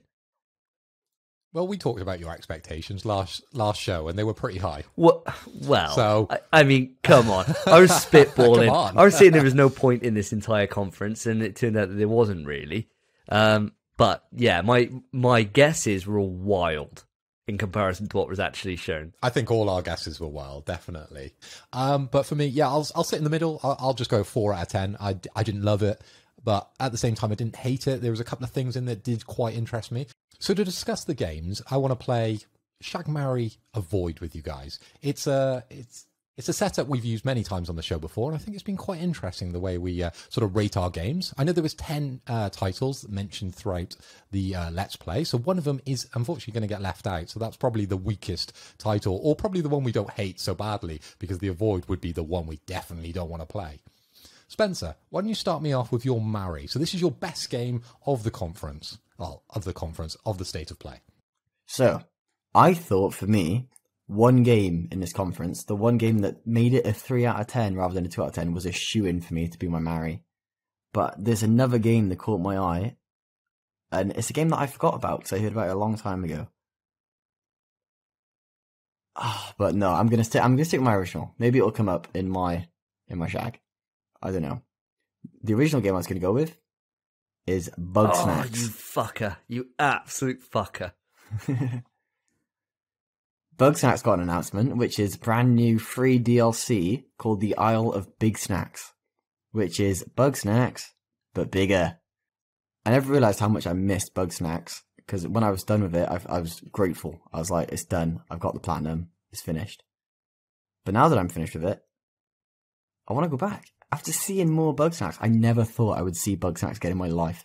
Thought that was it, uninstalled, gone, wiped off the face of the earth. But I, they showed it state of play, and I thought, I'm hyped. It actually felt like I was watching a Last of Us trailer or something. I was so excited. I don't Mate, know why. honest to God, as soon as that music kicked in, I just felt this kind of wave of just like kind of nostalgia almost of how excited I was when I first got the PlayStation 5 and I played Bugsnax through. I adore that game. I really, really, really enjoyed my time with it. And hearing that music just got me hyped to go back in and just catch some giant bungers. I was actually beyond excited, which I never, like just like you said, I never would have expected that. I thought it'd be like, oh, I can't be bothered. Whereas all that's going from my head is, I can't wait to see what the new trophies are. I can't wait to see what they're going to do. and we gotta we gotta give props where, where props are due here. They weren't going to add trophies to to this update, but Greg Miller tweeted them, and sure he may have terrible takes on the game that can't be mentioned, Village, but he did tweet them and say you better put some trophies in this, and they and they said yeah if you if you want them, so they're going to put them in. So we're getting a full trophy list for it. So I am super super hyped to get back in and catch some big snacks.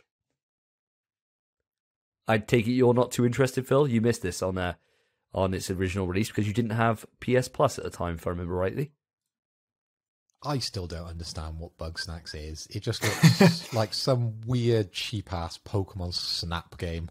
I don't understand it. Like, why is one of their hands like a burger or an apple, or and their leg is like I don't know a banana or a sausage? None of it makes sense to me, and I don't need it to make sense for me because it looks trash. Sorry, boys, trash. Oh, take. well, I'll tell you what, that is a trash take that you got there because you are missing out. Because feeding those little creatures assorted snacks and seeing them transform into some eldritch creature is just a satisfaction that I cannot describe in words. Mate, Davey's two for two on games he's given you. This year, your birthday's next week. What game do you think you're getting? I, I hope. I hope to God it isn't Bugsnax. Bug snacks, baby. My God. Anyway, moving on. Let's move this on because this is a Bugsnax love in tonight, and I, I can't take any more of that shit. Um, for me, my uh, my Marry, I'll go next. My Mary was uh, King of Fighters 15. I thought that was relatively interesting um, with our background in fighting games, guys. Um, that was the only one that really sort of made my eyebrow go, hmm, that's relatively interesting because it was quite a poor show. You know, I gave it a four out of 10, but King of Fighters, yeah, why not? And they've got an open beta going uh, between the 19th and the 22nd of November. Uh, eight characters to try out with the online matchmaking. Uh, so why not? Why not give it a try? You know, jump in, let's have a few sets, lads. I gotta say, I'm agreeing with you on that, and you guys are really pissing me off here, me going third on this, because you're just nicking everything that I got as my backups now. Um, yeah, do you know, this is the first time that a King of Fighters game actually interests me, and I think it's because the art style change. That art style to me just looks really clean. It just reminds me of Street Fighter 4. Uh, there's something about it that just gives me that kind of aesthetic look. I I am I'm about this. I'm definitely about this. I want to give this a try. I want to see what it's like. I've never played it, a King of Fighters game apart from a couple of times where you and me been pissed up, Phil, and you had one around your house. We played it for a, a couple of minutes and then went back to Street Fighter. But as I'm kind Yeah, of in between games right now in terms of fighting games, I, I'm still playing a bit of Mortal Kombat, but nothing too crazy.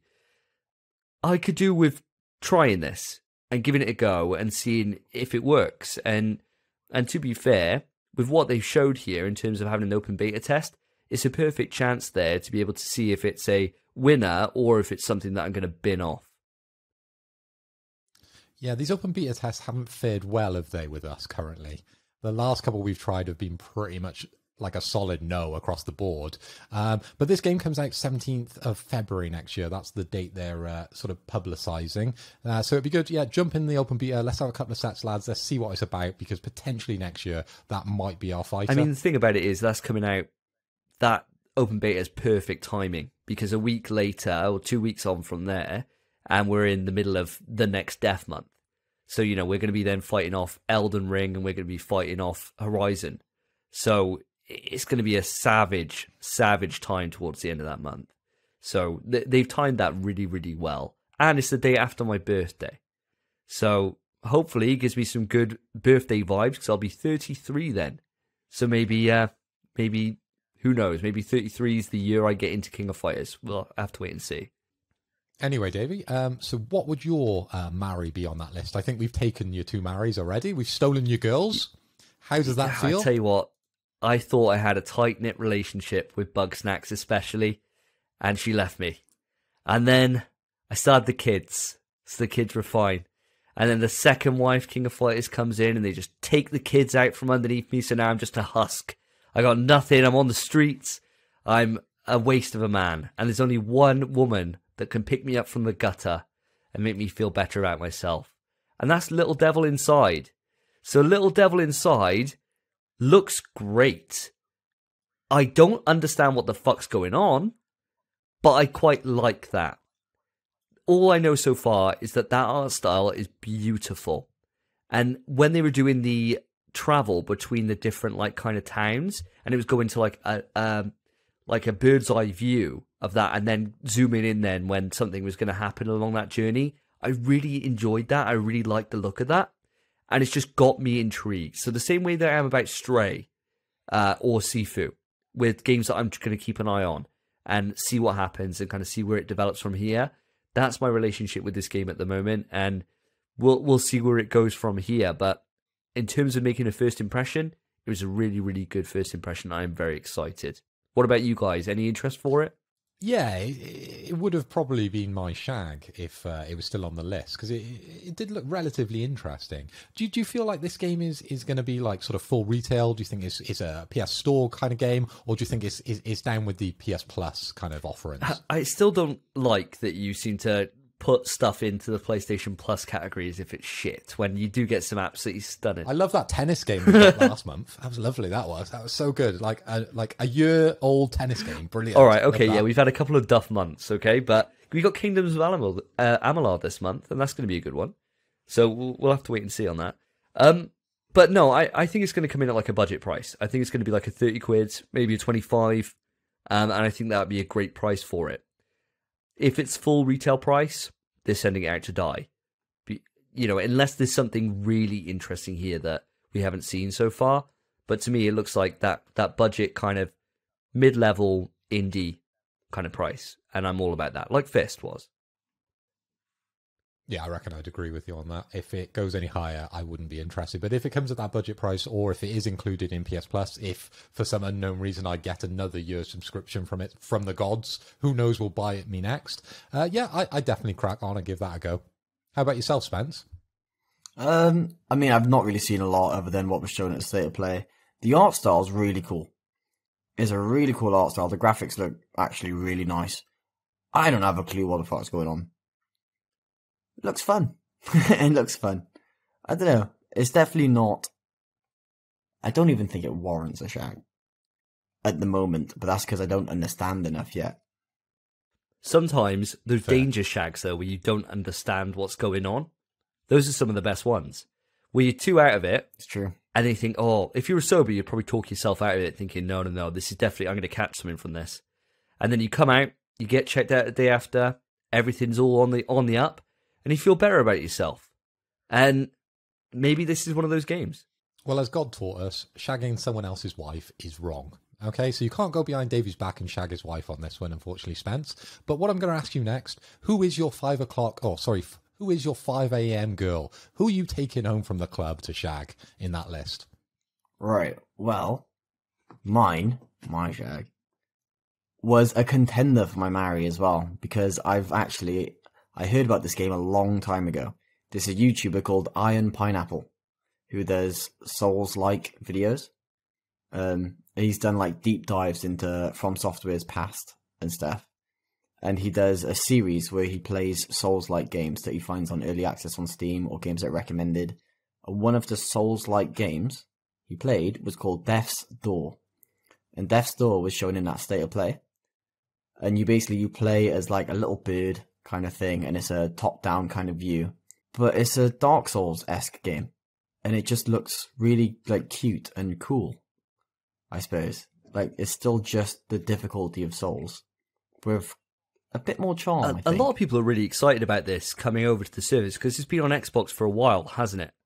If I remember rightly. Uh, if I so, remember yeah. rightly, I think it's one of the most highest rated games on Xbox. And so yeah, it's Wow. it's in their it's in their top five. That's probably quite easy, though, isn't it? yeah, yeah, yeah. It's not too hard at the minute. Like any game with a bit of substance, just gets yeah, yeah, it's not too hard on Xbox to be fair. Bless them. But um, yeah, so that is definitely one to keep an eye on, and that's certainly this is going to be a running theme, I think, here, listeners. That was going to be in my shag list as well. So that's gone now. That's gone. My 5 a.m. bird, as Phil put it, is gone out the window. She's gone off with another man. I'll tell you what, as as shit as this state of play was, my Mario my shag. are. I've actually I've actually come out of this on top. You going first, mate. You just fucked us over this time. Just fucked me over anyway. What about yourself, Phil? Who are you? Uh, who are you taking home at this ungodly hour? Well, I don't have to take anyone home, Davey, because that girl is already spread wide downstairs on my living room table. Her name is First Class Trouble. I already own that bitch. It was part of PS Plus, and it's that weird role playing game that's a little bit like Among Us if they had budget. I really want to play that game, guys. I think we should all crack on one night and let's let's three way this girl. I, I mean, I'll definitely check it out. I'll definitely check it out and see what see what it's about. I mean, I'll I'll chuck it in anything to be fair if it's if it's going. So why not? We'll have a little look. We'll have a little mingle. We'll have a little taste. We'll see what it's all about. And if it's trash, then we can go back to Among Us, I guess. I mean, that's coming out soon. Uh, we're not going to play that. We're not going to play that. nah. But yeah, I, I'm up for giving it a check out for sure. It looks it looks interesting enough. I think the only problem with that game was the way it was presented to us was fucking awful, and that's what kind of takes it out of being anywhere near my list. Is because that gameplay that was shown between that that bloke and that woman was so bad. It was Oh, dry, wasn't God. it? It, wa- it, it wasn't conveyed. No, it was I terrible. It was terrible. It made it seem like, oh no, oh, are you going to walk onto this ladder? Oh, please don't kill me. Oh, I won't kill you. I'm your friend. Oh, he hit. Yeah, I hit the lever. He's dead now. Ha ha ha ha. Boom. Trailer ends. I was like, oh, jeez, why? Oh my god, I can't believe you hit the lever. You were the imposter all along. Ha ha ha. Yeah, You're just making fun of a foreign woman at this point. it's just, it's just, yeah, it was, it was too dry. It was too dry. But yeah, well up for How- checking out. How about you, Spence? Davey's in on the threes up. Are you in?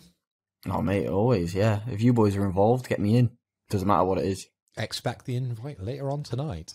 Davy, where are you picking? So uh, we're getting towards like bottom of the barrel kind of territory here. So this is something that I'm not. your it territory, is. mate. It is, mate.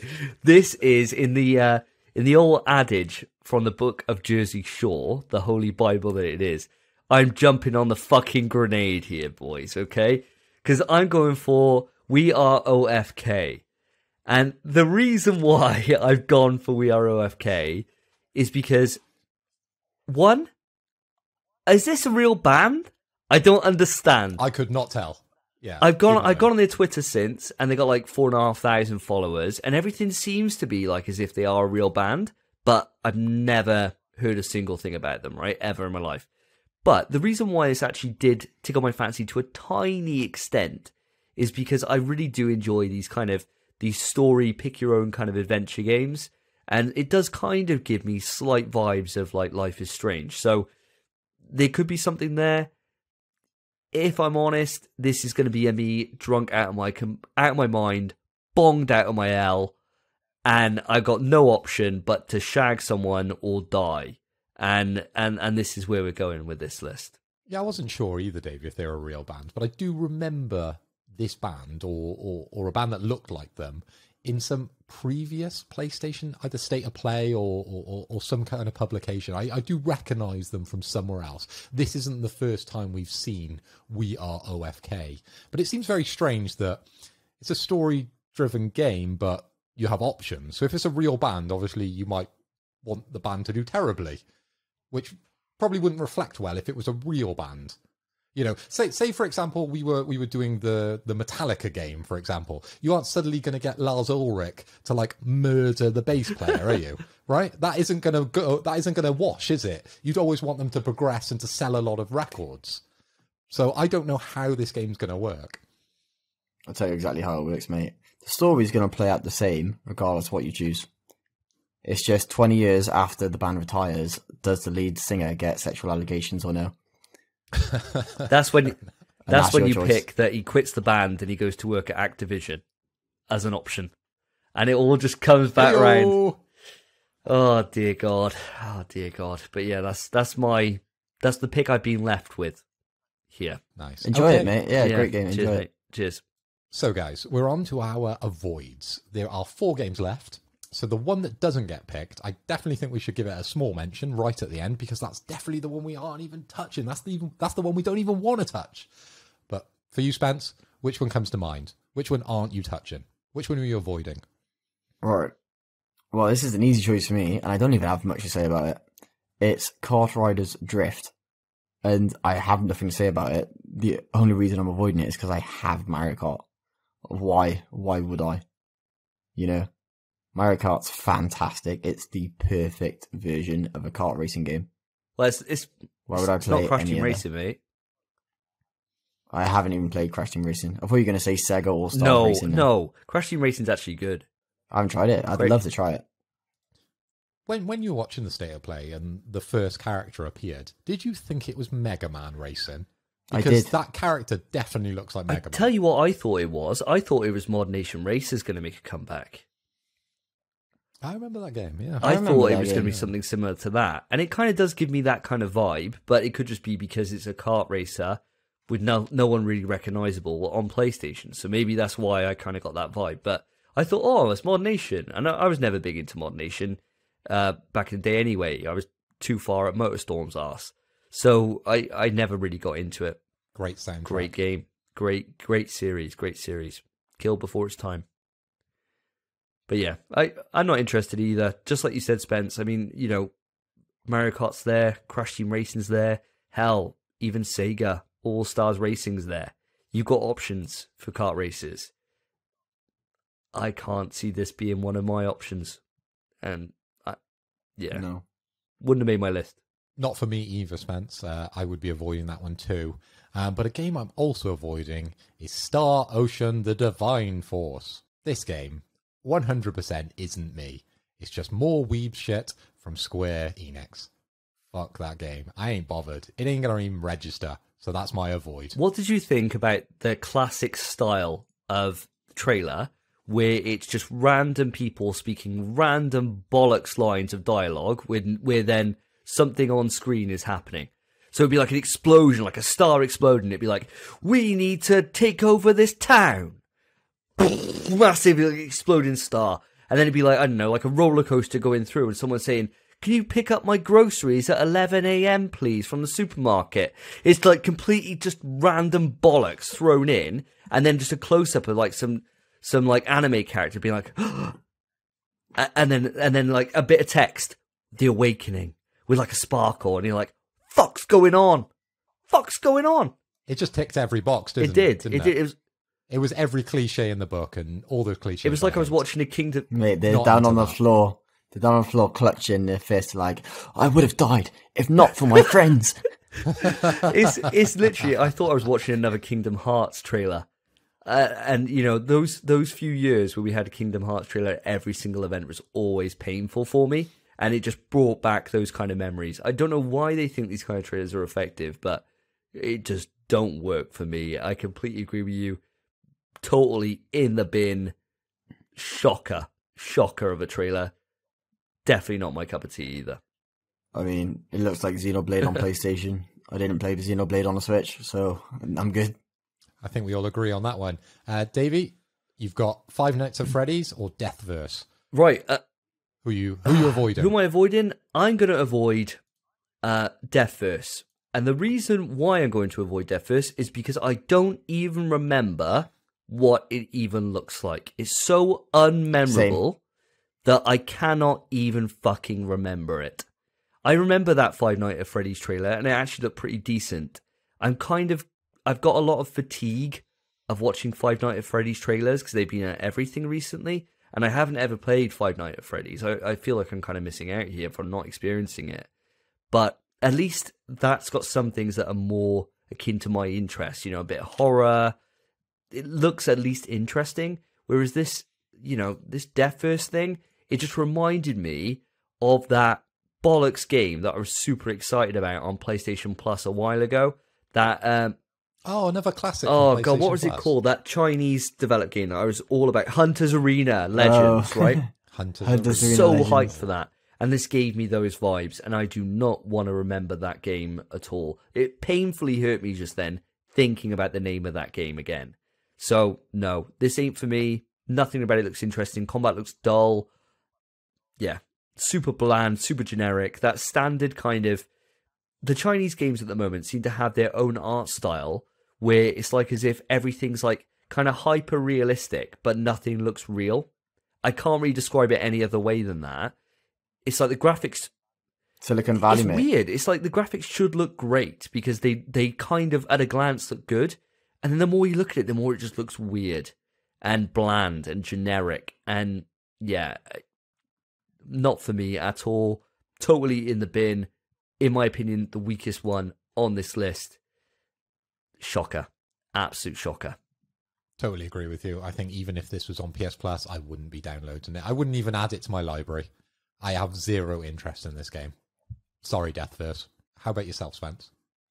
Um, the gameplay wise, honestly, I couldn't remember this game. Same as Davey, I couldn't remember it at all. So I've done a quick Google. Gameplay wise, can't remember it. Don't care. If I remembered it, if I liked it, I'd obviously remember. The announcers, the characters, the fat guy with the gold teeth, and then the woman who is clearly just a rip off of the posh one from Hunger Games. I like him. But I like Hunger Games, so that's why. So, it's a biased opinion.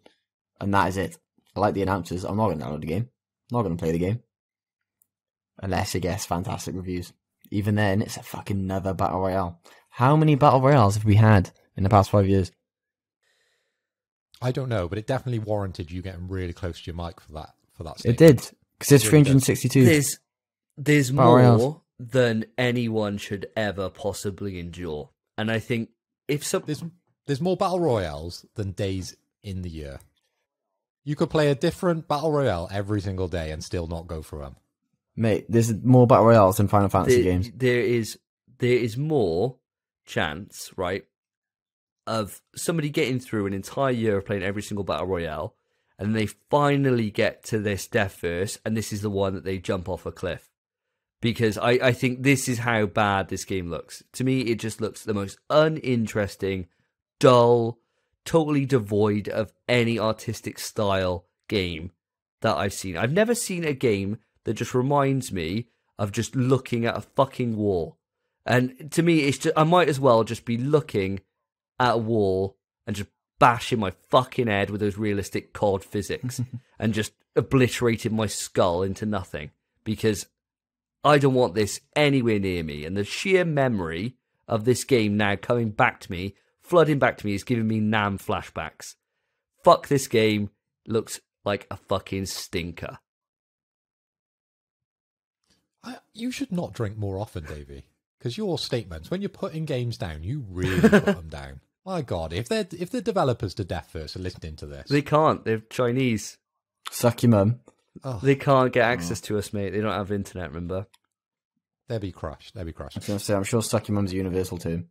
Anyway, let's uh, let's let's leave Deathverse. I'm sure there might be some people out there that will enjoy this game, but it just isn't for us. Um, the only the only game we haven't sort of mentioned tonight, I know Davey, you touched on it, was Five Nights at Freddy's. Uh, this is the security breach version. Did look relatively okay, I guess, um, but I've never been a, a Five Nights at Freddy's guy. Um, Davey, same same with yourself. Spence, is this anything you've ever delved into? Five Nights at Freddy's? Do you know what it is? I of course I know what it is. It was a freaking gaming phenomenon for freaking for ages. It blew up insanely. Um, Security Breach, I remember it was actually announced with the PS5.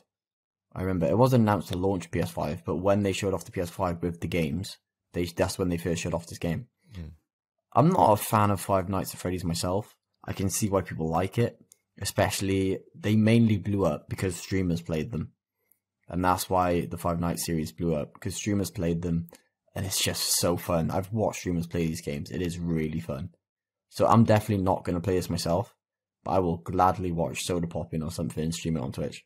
Bro, can you fill me in? Because I don't, I don't even really know what it is. I know it's like a horror game, but that's Yeah. all I know. I literally don't even know what kind of style it is. Is it? It's not survival horror, is it? It's not survival. Uh, I mean, kind of, I suppose. The original games were uh, you were in a room, you were in a room doing like uh, the night shift security in a fun house, so like in a kids arcade kind of thing, and they have these animatronic animals, obviously. Um, and at night they would just be let loose. So you'd have to watch the doors, watch the battery and stuff, and make sure they can't get to you. You'd have to stay in the house, but every time you close the door or turn a light on or use the cameras, you're draining your battery.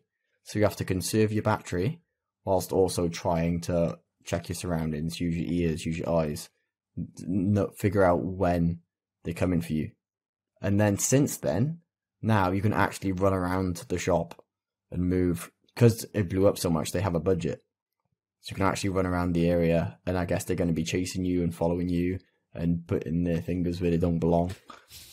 It's I don't know. It sounds quite. It sounds actually really quite interesting. That does. I'm not gonna lie. Maybe it's something I should check out at some point when we got you know nothing to play, and you know it's cheap enough. Maybe maybe something I'll actually have a look at because I feel like that's like a a cultural thing that's kind of passed me by. It's it's the same with Dead by Daylight. It's all those kind of streamer games that kind of maybe I'm a bit old for. Maybe I've got to start accepting that these days. You know, 37 next next week. I've I've just missed these games. Five Nights by Freddy, Day by Daylight. Not a clue. Sorry, guys. Well, you're not alone there, mate. Because maybe maybe there is something to do with age. Because yeah, they definitely passed me by too. Listeners, I wouldn't mind actually knowing. Are you which of these games are you excited by? Which ones do you? which ones do you give a shit about? Is there any? What did you think about about the overall state of play? Write into the email pswetrust at gmail.com. I think we'll also post this out on Spotify as our question. So if you are a Spotify listener, uh, you can comment on the uh, on the listening itself. We'll also have start the conversation over on Reddit. The URL will be in the description. So please join us. Um, I know there's a couple of people chatting uh, right now. So click those links. It'll be in the description below. You can also let us know your opinion on a state of play on Twitter at InPSWeTrust or any of our individual Twitter accounts if you kind of want a one to one conversation on the state of play about which games you like. If you agree with us, let us know. Our individual Twitters will be in the description below as well. Crawl into those DMs, baby. Uh, that's a bit mad for me. Oi, oi. Oi, oi. Okay, so for topic two, guys, have you seen the hottest new gameplay on the streets? Just went live today. 15 minutes worth of pure Elden Ring beauty. Guys, there was a lot shown, a lot of different builds, a lot of different combat. You got to see how the world works. We got to see kind of everything really. You got to see a huge open doors about the kind of foundations, as they put it, of Elden Ring. Before we get into some specifics, I want to hear your top level thoughts. Phil, I want to come to you first because I know that you're not a massive fan of all these kind of like Dark Souls games and everything. Or have I got that wrong? I think you've just totally offended me and all the listeners that back me up on this. I'm a massive Souls fan. You know that. Yeah, hello. You know about us, Bloodborne. You crazy? I own that game. Come on. It's crazy. I suppose you did take down the cleric beast, so you know there is something there to that. That's a a big achievement in in gaming that one. So, what were your thoughts after seeing this? Are you interested? Well, I, I didn't watch it live or anything. Uh, I, I caught up just for the podcast, so I watched the uh, Maximilian Dood kind of commentary on it because I thought I'd need someone to sort of bring me into this Souls verse because I don't know all the references, I don't know all the backgrounds. Um, but my initial thoughts of the game, the game looks stunning. Those visuals, incredible. That blew me away to start off with, especially when he was walking over and, and you could see all the vistas. It was just beautiful, you know, from the colors, the lighting, and those magic effects when he was taking on that boss on the back of the horse, like quite early on. That was incredible. There was definitely a Kamehameha in there. I saw that, and that was beautiful, and that made me smile. I popped off that Kamehameha. I, I I never play a spellcaster character in a Souls game, but seeing a Kamehameha, I was like, oh, you make me just might want to start acting up. I was like, oh, I'm gonna do this, right? I'm gonna fucking do this. So yeah, I, I I'm with you on that one. That was that was hype to see that. But do you think then this is this has got you actually interested in it? Maybe got your your little toe maybe just touching the water a little bit, maybe. Well, it it all depends what other games come out around this time, doesn't it? And then I've got to make those choices because I know it's going to be a difficult couple of months around that sort of period. couple of months, a month. Yeah, that month. that month. that was, Yeah, but how long is this game going to be? It feels like a full blown RPG, doesn't it? It's like it's it's going to be a big one. What are we talking? We're going to be like I know we're talking high level here, but like this is maybe eighty sort of hours. Yeah, I, I don't. I'm, I'm not sure. I mean, but before we dive into too much into the minutia on this, and I'll pick that. I'll pick that up in just a moment.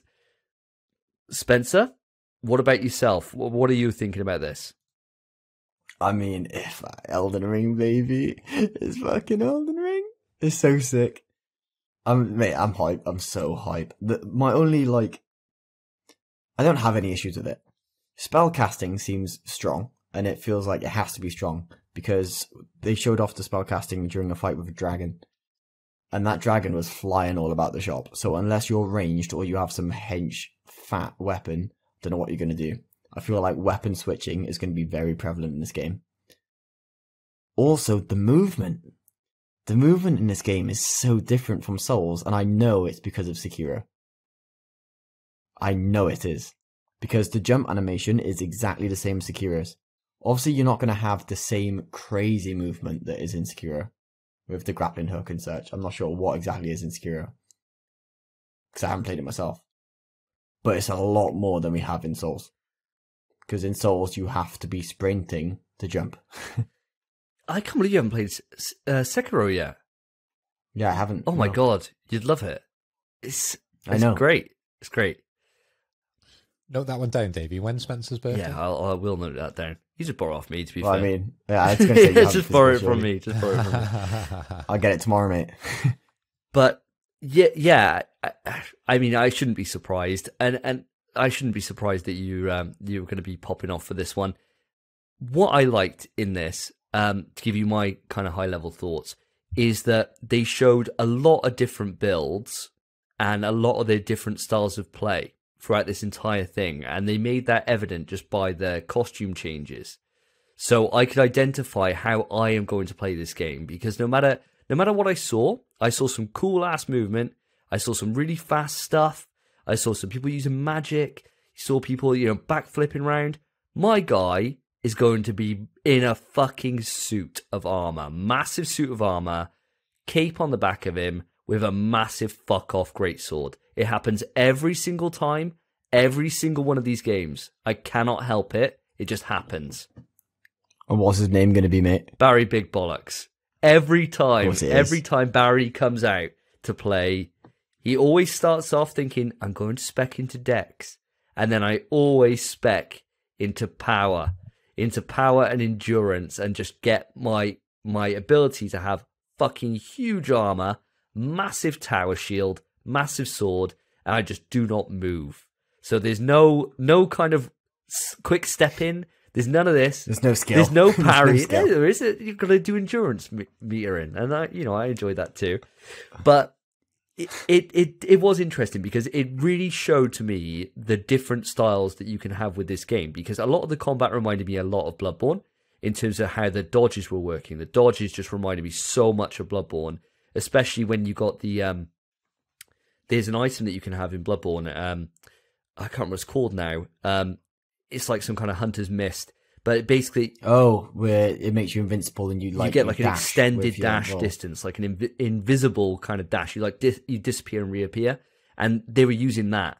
And I was like, okay, and like the little quick steps, I was like, yeah, this is straight from Bloodborne. And then, like you said, a lot of the kind of forward momentum and the um the running animations and and how easy they were like kind of vaulting to and from things was was Sekiro from the off.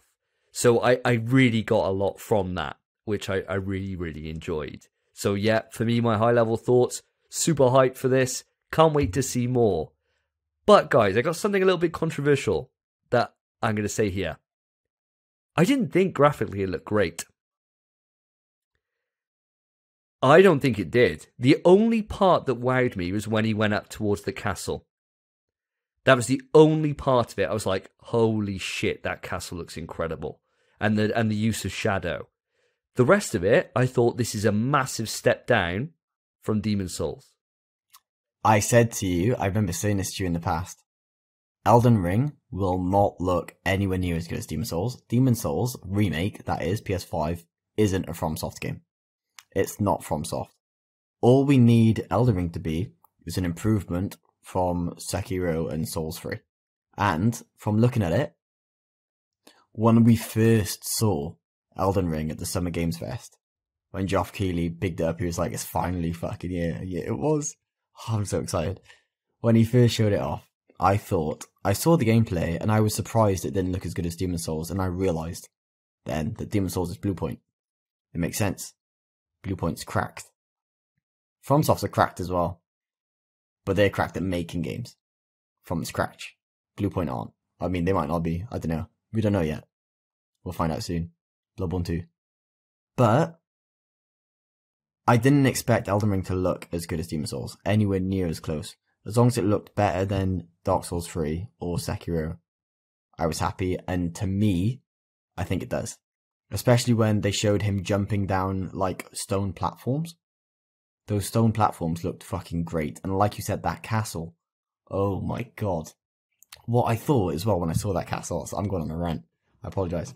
When I saw that castle, what amazed me about Souls games and FromSoft was that that castle would be the final, the massive build up, the finale in Legend of Zelda Breath of the Wild.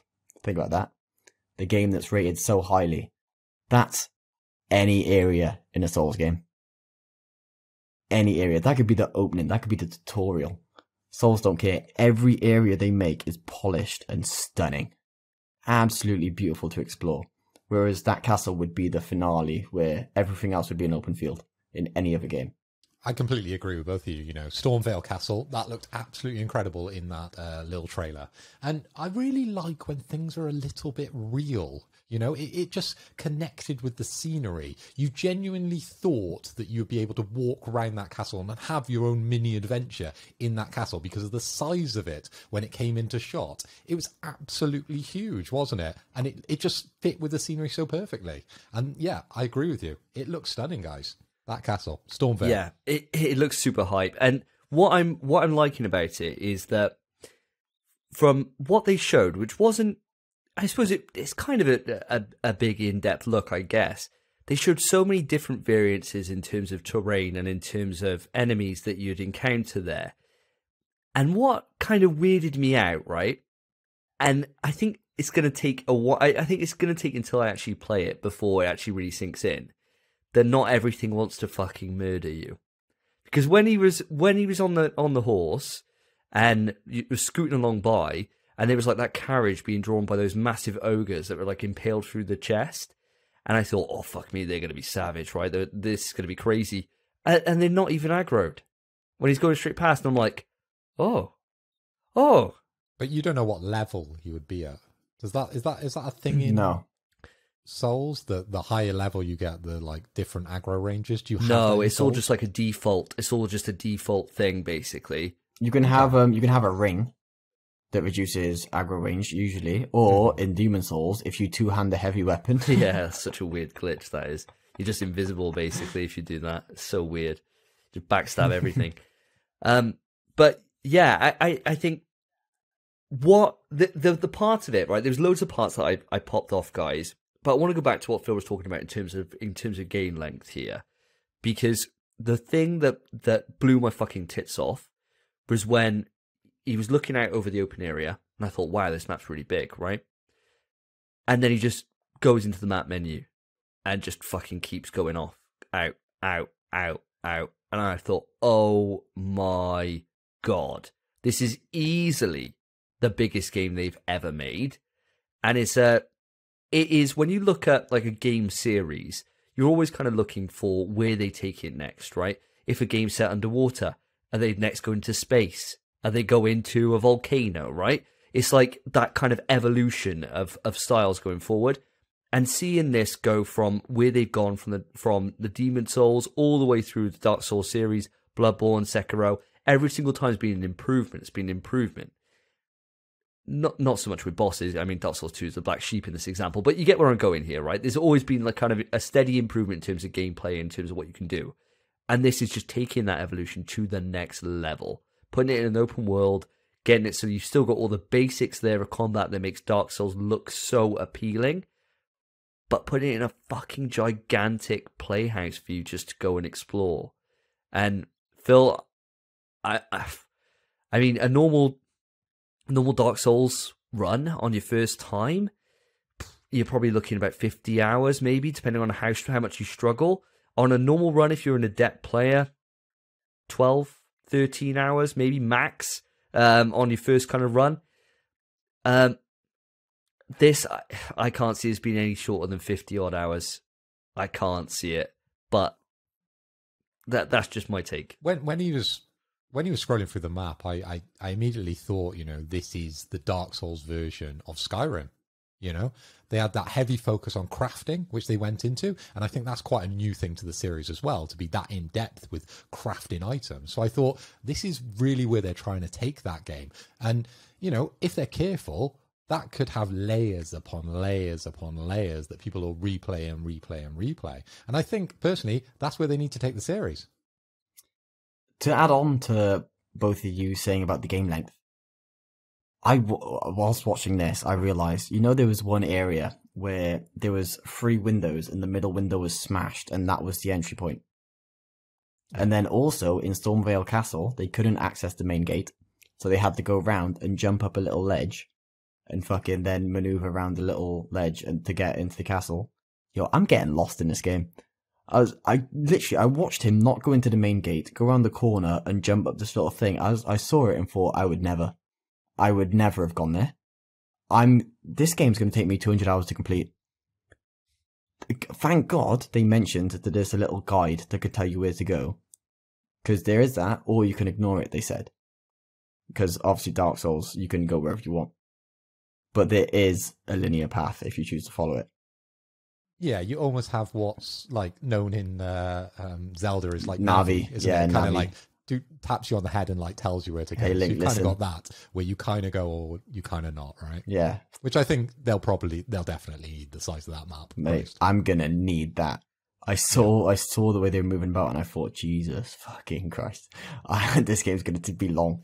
I can't be asked.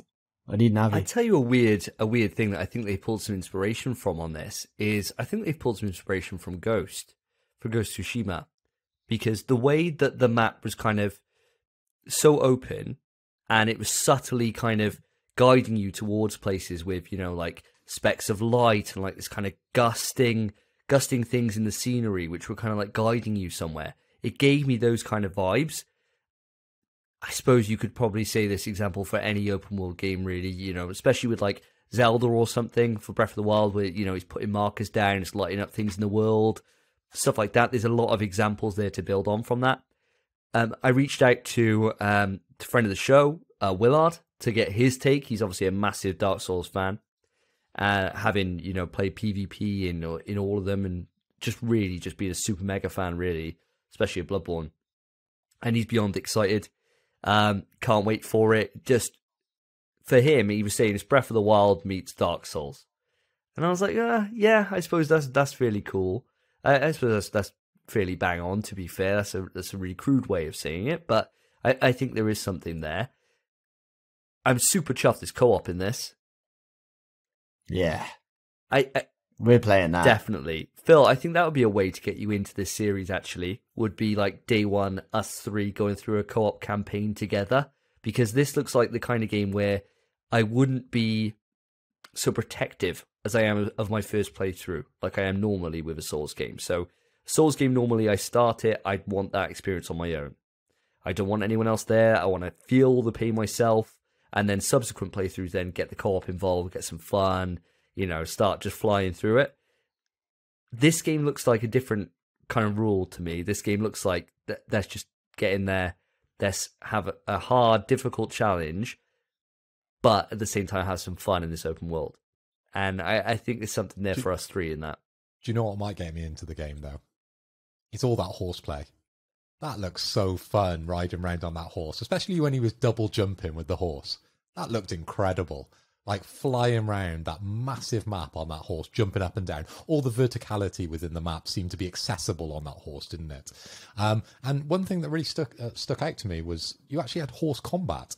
There was a part I think he was riding past, I think maybe a dragon or something huge, some humongous boss, and he comes past on his horse and like swipes at the swipes at the boss, and that was incredible. You don't see that very often in games, do you? Generally, you dismount before you fight the monster, but in this, it seemed like that was an option to you. You could come along on the horse and swipe at the demons. I was going to say, as a Dark Souls vet, I'll say, because I've played all of them, there is no shot I stay on my horse during those encounters. There is no chance in hell I'm getting off my horse because looking at that experience, he gets one hit off every time. You have to wait for the opportunity for it to land. Ride past it on your horse, you get one hit and that is it. Burn that. Burn that. I'm landing, pulling out my great club plus 15 and I'm smacking it to oblivion. Do you know what I'll say to that, Spence? Don't know what it means. Get good, bro. That's crazy. Get on that horse and start smacking things at the right opportunity because that looks sick. Mate, I'll beat that horse in a fraction of the time. What Get your plus 15 horse, Plus 15 smack it. What what I did like, right, is this aesthetic they've got now with with everything kind of being a bit magical and the horse instead of it just, you know, just disappearing into your pocket or something, right? You just put the horse in your bag or some bollocks like that, like a lot of games, you know, do with like weapons and things like that. Th- things are like appearing out of magic. Like the way that the horse just appears out of magic and disappears out of magic. Every time that happened, that horse disappeared. I was like, ooh.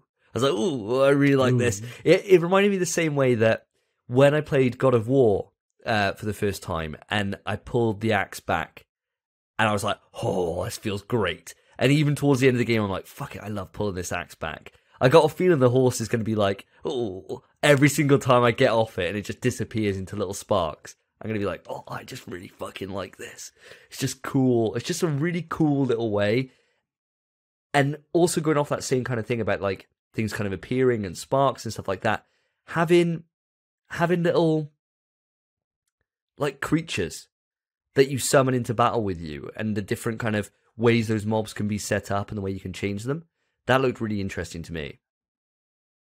Yeah, that looked super helpful, didn't it? Because I think there was definitely some early parts in the game where he like just summoned kind of like normal kind of enemies to like help him along. But at that end boss fight, you know, the guy with all the hands and the axe, and by the end of the fight, he seemed to have some sort of like dragon's head on one of his arms, which looked incredible when he grabbed him and bre- breathed all that fire. But then he brought out kind of like a bigger ogre, didn't he, and summoned that to be able to to fight him. And then he brought out a big sword and lashed that down on him. There was definitely some intricate kind of movement, wasn't there, with all those kind of summonings and like combos that you could definitely do. So yeah, I, I'm quite interested in the game. Definitely, guys. You can see this, yeah. What? Yeah, mate. I, I knew obviously me and Spence would be hyped by this. They'd have to really, you know, fuck hmm. up for us to not be hyped. But it's good to see this little this little dip in, this little dip into the toe analogy that I'm But using. oh, there's a but. There's a but. There's a on. huge but, right? Remember how hyped people were about Cyberpunk. oh no, shut up. and shut they up. sold it and sold it and sold it. This is gonna be the best game ever, and everyone bought PCs and like you know did the whole room out in cyber junks shit, right? This could be the same thing. No, this is up. overhyped at the moment. Everyone fucking loves it. So maybe I'll still sit on the fence because if it's bad, I'll go. I told you so, guys. But secretly, I'm quite interested in it. The difference there is Cyberpunk literally showed nothing. Took what seven or twelve, however many. No, twelve was Duke Nukem Forever, wasn't it? Seven years to develop. Duke Nukem also trash. Seven years to develop, and never showed a thing. And there was literally a hype based off nothing, based off a trailer that came out seven years ago, a cinematic trailer. We have gameplay, we know mechanics. FromSoft has never let us down, other than Dark Souls Two. Ever let us down once? They've done it once. It wasn't It's even that fine. bad. It wasn't. It was fine. It was fine. It was a great game. It was just the worst out of Yeah. the bunch. I always like to offer that difference of opinion. So let, let let's just put that out there that potentially this might not be everything that it's you know people are hoping that it will live up to. I know there's so many ah, fanboys when it comes to this series, so it's very easy to overlook possible flaws within the game. Loads of people are hyped, but let's just see how it goes, you know? Like ultimately you guys are massive fanboys and you're both wanking each other off about this game to the max. I can't believe you haven't come yet over this game because you absolutely You reckon I haven't? You mad? I blew two loads off earlier watching that trailer, mate. I'm totally Yeah, spent. I am spent. But I, I mean, what do you expect? I mean, Dark Souls ranked number two in our in our IGN redo bracket, right? I wonder how that worked. You don't have to be like you don't have to have a maths degree to work out how that that ended up. So two, I, I mean, this is the thing. We're obviously going to be super excited, but I do have a bombshell to drop on you guys.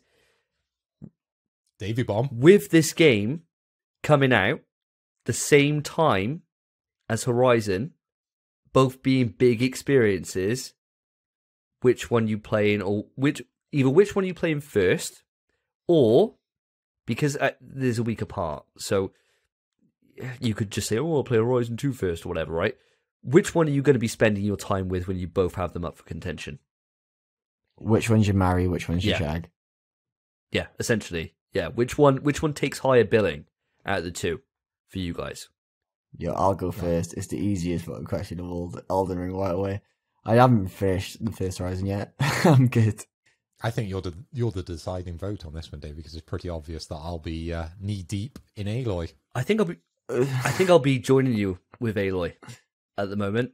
I'll be joining. I'll be joining you with Aloy. Yeah, I think out of the two, I'm I'm more excited by Horizon just because that story of that first game was sensational, and with the gameplay that they've shown already, I know it's going to be. I know it's going to be an incredible experience and one that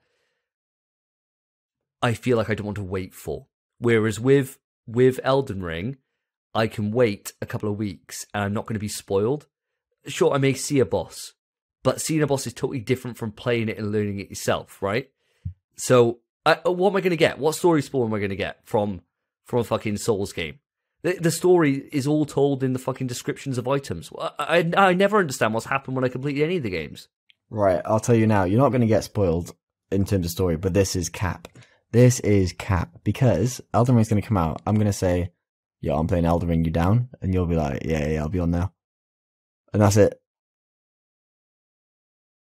Maybe, maybe, all right, maybe. But no, I, I, I'm sticking with this. If I have to choose between the two, if say say money was tight, I only had one, or someone put a gun to my head and they say you got to pre-order one, I'm going. I'm going Horizon. That's cap. that's Yeah. cap. So two for Horizon, one Yeah. for Elden Ring. That's I so know, I know, I know, Can I- I know. Is is The dice has been I, cast, guys. I mean the only game that's going to lose out of this entire month is Sifu. Yes, he was getting Sifu's shafted. getting absolutely fucked releasing uh, in February. It's just going to be awful for it. But I tell you what, guys, that is mega exciting that all three of us are potentially in for this. Before we close this topic down and I ask the audience, is there anything else you want to say about the game? I got one thing I want to ask you boys. You know the whole. It was kind of like a uh, like a little uh, dialogue scenario they showed. where Whereas a bloke like the jar was stuck in the floor, and they got it out with the giant club. Did you think that that was a bloke trapped in the jar, trapped in the floor, or did you think it was the jar was speaking? Oh, I thought someone was definitely Hundred percent in the jar. Yeah, Yeah, but so I did I. it would come to life. I thought it was one of those things that maybe you didn't see the arms and the legs. It was a bit like crack it, and then the crack would open up to be some kind of boss, right? And then inside was the victim, right? That's what I thought it was. Yeah, so did I'm I. Thinking it, but yeah, weird one, weird one. Yeah, I thought it was a person, and then you whack the jar up. The jar stands up and turns around and crosses his arms. You're like, oh, I thought he was going to get up and go, oh yeah, you know, like that jug that burst Kool-Aid through the man. wall. He did look a, a li- the Kool Aid man. He looked a little bit like the Kool Aid man, did he? Oh, It just a wall appears directly in front of him. He just runs straight through it. That'd be so class. That'd be so class. Uh, I tell you what, I was also surprised about. Actually, I'm, I know you got me fucking going on about it now. That I would have had that last box that he opened be a mimic. Oh, mate, I said the same thing. Should have been a Do you know what I said when I saw this? I said it to Uh, myself. we knew it wasn't because of the I chain, saw- right? So we knew it wasn't a mimic one. the chain, the chain was circular. Oh, also, what I was surprised about is now you can see the glowing coming out of the chest. Oh, I didn't notice Like that. there was an actual glow. ju- Yeah, there was a glow emanating from the chest, and I wonder if that glow exists in mimics as well. But I saw the chain, and the chain was circular like it is in Souls when it's not a mimic. Yeah, because I was just too affixed on that chain. I was like, oh, it's not a mimic. I was like, oh, I wish it was though. That'd have been hype if it just bit Yeah. him and eat him. I mean, it's obvious, like a Souls thing, but would have been cool. Would have been cool. Oh, super hyped, super hyped.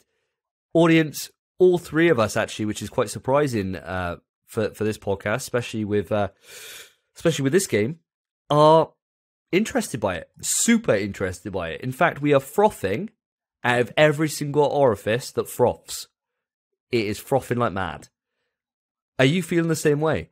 Uh, do you have an uncontrollable growth in your loins from this game? Write into the email. Let us know. pswetrust gmail.com. What do you think about the game? What do you like? Which wins between this and Horizon for your wallet? I want to know. So, boys, we're on to the final topic of the evening. For this topic, it has now been a year since the launch of the PlayStation 5, so what I really wanted to know is what are yours and mine, our overall thoughts on the console in its first year, how they've improved since launch, and just how you've fared with the console throughout. So, the floor is open. Let me know what you think. Okay, so do you want some sort of high level thoughts, right? You know, just to kick things off. Crack on, mate. Whatever you want to tell me, I'll listen. Okay, so I bought PlayStation 5 on launch, got it from Amazon. Uh, extremely pleased that I was able to get it straight away because I thought it was going to be difficult and actually it was quite easy. Um, and I've loved having it and owning it ever since. It's racking up the games on my shelf. I don't know uh, what the number is just yet. I'm trying to look. Six or seven different games I think I've bought for the PlayStation so far. And it is pure quality so far in what we've bought and what we've played. There's definitely some incredible games. Um, we were mentioning them earlier in the chat. You know, some some of the classics such as Ratchet and Clank. You know, that's that's an incredible experience, and I wouldn't have been able to do that without PlayStation Five. I know there are so many games out there at the moment which launch maybe on PC or launch on PS4 as well. Um, but for the exclusive, for me, Ratchet and Clank is definitely the standout out of all the games that have come out on PS5. So I'm very happy to own one, and I'm very proud to to be a PlayStation 5 owner. I echo a lot of those thoughts, to be honest, Phil. Um, for me personally, high level thoughts. This is the best first year of a console in existence. Simple as that. There hasn't been a console that has had a first year as good as this ever, ever. Where you're talking that in the first year you've got Demon Souls, Spider-Man, Miles Morales, Ratchet and Clank. We've got the game that can't be mentioned, Village. Oh my god, that was tough. That was a close one. That was a close one, boys. If I was drinking, I would have fallen for that one. Returnal, Deathloop, uh, Final Fantasy VII, um, the the remake kind of upskilling of that Intergrade. intergrade thing. Yeah, uh, we got um, freaking Death Stranding. There's like there's so many, there's so many games for this first year. And sure, not all of them are just for the PlayStation 5. A lot of them are cross gen, or a lot of them are like kind of remakes or director's cuts. But in terms of quality experiences, I have not had spare time this year at all. There's always been something every month for me to play or something for me to be excited by. And I remember getting my PS4 and going years into the release of the PS4 before we had good quality first party software, where we had Infamous and then nothing until Bloodborne. And there was just this huge swath of time where everyone was hyping up games like fucking Ready at Dawn's uh, Order 886. And everyone was thinking it was going to be the best thing ever, and it was just a 6 out of 10. We haven't had any of those experiences on PlayStation 5 from first party at all. They've all been bangers, or if not, they've been at least good. I'm looking at you, Sackboy A Big Adventure. You're the weakest one. but yeah, that that's my high level thoughts. What about yourself, Spence? Uh, well, for me, again, it's just echoing the same kind of shit. The games we've been we've like got this year are fantastic. Jesus, the it, the the console launched with Spider Man and Demon Souls, And Astros. And uh, we platinumed the Astros before Phil got his console. Think about that, phenomenal. Planned it that first night, didn't we? Yeah, we got it on midnight launch, and it was platinum by 4 a.m. Fantastic. Such a sick game. Astros is godlike as well. Those speedruns, I put hours into those speedruns. This, the games, the lineup we've had on the PS5 this year is exceptional. The PS5 itself, mine's been a bit buggy, but during launch, I thought it was actually like going to die. It turns out it was just an issue with my monitor. Um, compatibility issues, I don't know, but that's solved. Now it just crashes every now and then. It's fine. You But do you know tend what- to find a lot of bugs in games, though, don't you, Spence?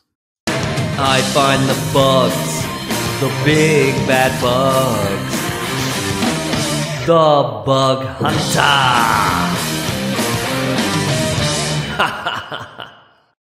There's one thing that's going to happen every single time, and it's no matter what you play, no matter on what system it is, no matter on what firmware, no matter where in the world you are, you will find a bug somehow, somewhere.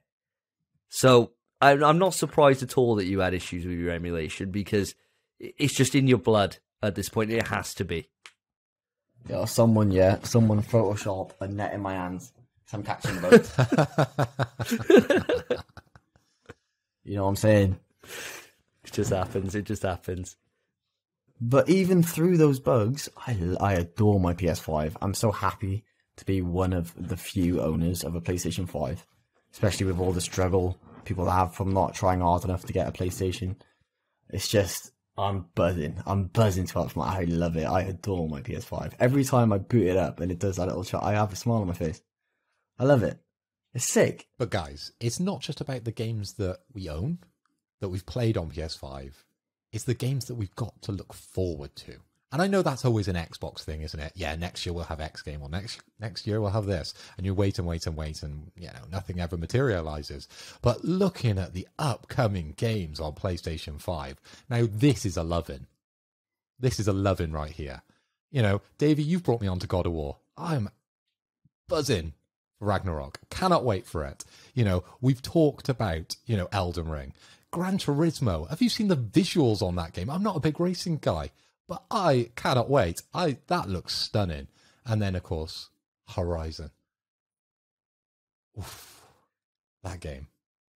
What a sensational big first party year that is. To think you've got two of your biggest franchises going out straight, well, going out in one year is just nuts, right? Where you think you've got Gran Turismo coming out in like the March, and then you've got God of War TBD probably coming out in like August, maybe September. Uh, it's always a bit dicey around about, about there, but Probably late. yeah, it whatever it is, like two of the biggest franchises for the console coming out in you know the second year of it being around is just insane. And then to think the year after that, we're talking Spider-Man 2, we're talking Logan on the horizon. Let alone what studios like Bend are doing. We don't even know what like half the fucking ecosystem are doing.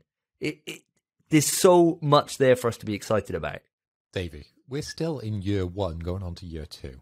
This is a 10 year lifespan of this console. Just a ma- like with PS4, obviously the better games came m- sort of later on into the generation. Imagine what we've got to look forward to. It's It's exciting. incredible. I'll tell you. I'll tell you what we've got to look forward to, boys. Naughty Dog. That's true. That's true. Whatever they're cooking at next, whether it be like a Whatever they whatever do. they're doing, if it's uh, if it's The Last of Us three, if it's Uncharted five, it's going to be a banger. Whatever it is, I can't wait to see what they can do. What magic they can pull sick. on this. Guys, I do have a question for you though. Obviously, we're all super happy with the console. We're all super happy with the way things are looking for the future in terms of game releases and and happy with what we've had so far from the first party. Is there anything that you feel has been kind of underbaked or hasn't been utilized in the right way yet for the console? Do you really need to ask me that? Go on then, Phil. Let's start off with yourself. What are you going to say? Has has the PS Plus offerings on PS5 been that good? Have they really been worth it over the time that I've had a subscription? And thanks again, guys, for that subscription. But the PS5 offerings have been piss poor. You got Remnant. We had a class The time on PS5 Remnant. offerings. I think that was PS4 as well, wasn't it? This oh, is Oh, what yeah, you is missed what out on I'm- Bug this is what I'm though. talking about. Like the PS5 offerings since I've had it have been pure trash. I mean, you I had don't Abe. feel I don't feel like they've made that bigger stride into offering us quality for that subscription. I think looking at it solely through just the the lens of PS5, Which I then am. then yes, I think that's a fair statement to say. But the problem is with PlayStation Plus, the kind of value in it really, I suppose, is getting games which are a little bit older, but generally quite high quality. I don't even think. I disagree. I think PS5 alone we've got a value. You think what? How much is it a year? 32 quid, really, if you get a gift Yeah, card? yeah, about that. Yeah. We've got Bugsnax. Fantastic. Actually class. Isle of, Isle of Bigsnax, please. Worms Rumble? Yeah, shit. Maneater Great game. was great game. R2 button destroyer. Yeah, good game though. Destruction All Stars? Mm. Trash. Maquette? Good Great game. Yeah, Uh, Abe's Odyssey Soulstorm? Great game. Great Uh, game. It was the Wreckfest? only- the None of us ever played. semi-played. Yeah, yeah. Uh, Wreckfest? None of us actually played. Operation Tango? fucking fantastic game. Fantastic game. A Plague Tale I haven't Innocence. played that yet. Tell you now, it's great. It's a great game. Hernett's really, really good. Yeah. But then Overcooked All You Can Eat, which is Overcooked 1 and 2 and okay, DLC. yeah, that's brilliant. Fantastic. And then Hell Let Loose, Yeah, which, shocker. you know, yeah. But that's easily more than 32 quid. Oh, God, of yeah. Easily. Just on PS5 alone. I'm not surprised in your response because you're both apologists for this uh, service and you both absolutely love it. So I, you must be getting paid off by Sony because I'm hearing there's a lot of trash in there and then one or two that maybe you would like, but I would want to see more quality. We're on the PS5. This is a service I subscribe to. Give me something with some bollocks, right? There should be something interesting in this service for me. And and so far, I just haven't seen the value in it yet potentially in the future they might push some more games. I know there was a period right at the start which they were struggling for games, and they give me Maneater or whatever the shark game bloody was. Good. Is it good? Yeah, it's fun. Good compared uh, to what? Good compared to not playing games. Sure. it was fun. It was fun. It was mindless fun. But I wouldn't have got a platinum on it if I didn't enjoy my time with it. There's something just really just satisfying about just mashing R2 and destroying everything in sight. And All you and do the you know how, game is you just know how much I love sharks. I mean, it's like the perfect game for me, playing as the thing I love. I mean, what more can you want from from a game, you know? But I, I see your I see your point. I understand where you're coming from. And when when Spencer's put it out there, yes, it's a no brainer. It's way worth the money, right? It's not like it's not like the Nintendo Online service where I feel like I've literally thrown my money down the gutter. With with this, I actually do feel like yes, not every month's going to be a hitter, right? Not every month's going to be something. But in my mind, as long as you get two games a year that really stand out to you, that's worth that's worth it to me. You get your money. Definitely. I mean, the previous year we had Hollow Knight, and that itself, that just one game was enough for me to say that entire year is way worth that. And and and that's it. And I mean, when you think we're getting all these extra, I know you weren't talking about the PS4 and PSVR offering because obviously they've been massive as well. But when you talk about the back catalogue of VR games that we've built up, even just over the course of the last three months, where we got all those summer games that were given to us, and then having uh, these extra games going on now in November's, we've got now a massive state of games there that are waiting for us when we get a PSVR 2, when eventually that gets shown and we learn it's like £800 or whatever. But we, we've got a nice little back catalogue there, all thanks to PS Plus. So, uh, yeah, I, I personally am super hyped for this service, but I do get where you're coming from, Phil. I actually do understand that on the PS5 segment of it. But with another year now in front, there's they've got all the games that came out this year. They could always pull back on those, and uh, and we'll we'll see what kind of happens with that. So that's your pick then. So what about yourself, Spence? What are you thinking? What what do you think's been a bit either underperformed or undercooked when it comes to the PlayStation Five for the last twelve months? Well, I mean, I'm the bug hunter, so you know my PC, my PS5 could crash less. You know, it's a big one. Um, but in terms of like software shit they've done that I'd like to see improved, fam, just make trophies horizontal again. I'm not standing for this. This is the it's the worst take. Honestly, our take is so, so different on this. It's insane. I'm so happy it's gone back to vertical now. You have no idea No, but you know why our takes are different. because you, for some reason, don't like seeing more of a list. No, I started getting platinums on the PS5.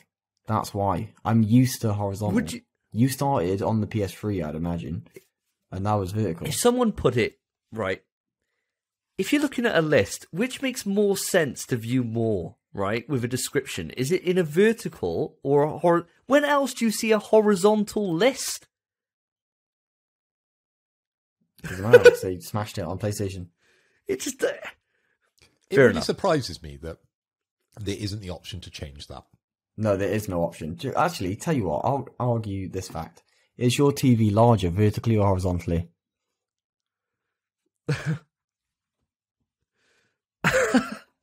Davey has his TV in uh, portrait view. Portrait mode, apparently.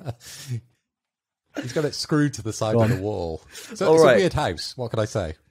That's Look at him. He's that's stumped. fair. He's That's fair, right? mine. But when you, all right, when you pull up a Word document and and you and you pull up a list, right, and you bullet point that list, do you have it going across like this, or do you have it going down like this?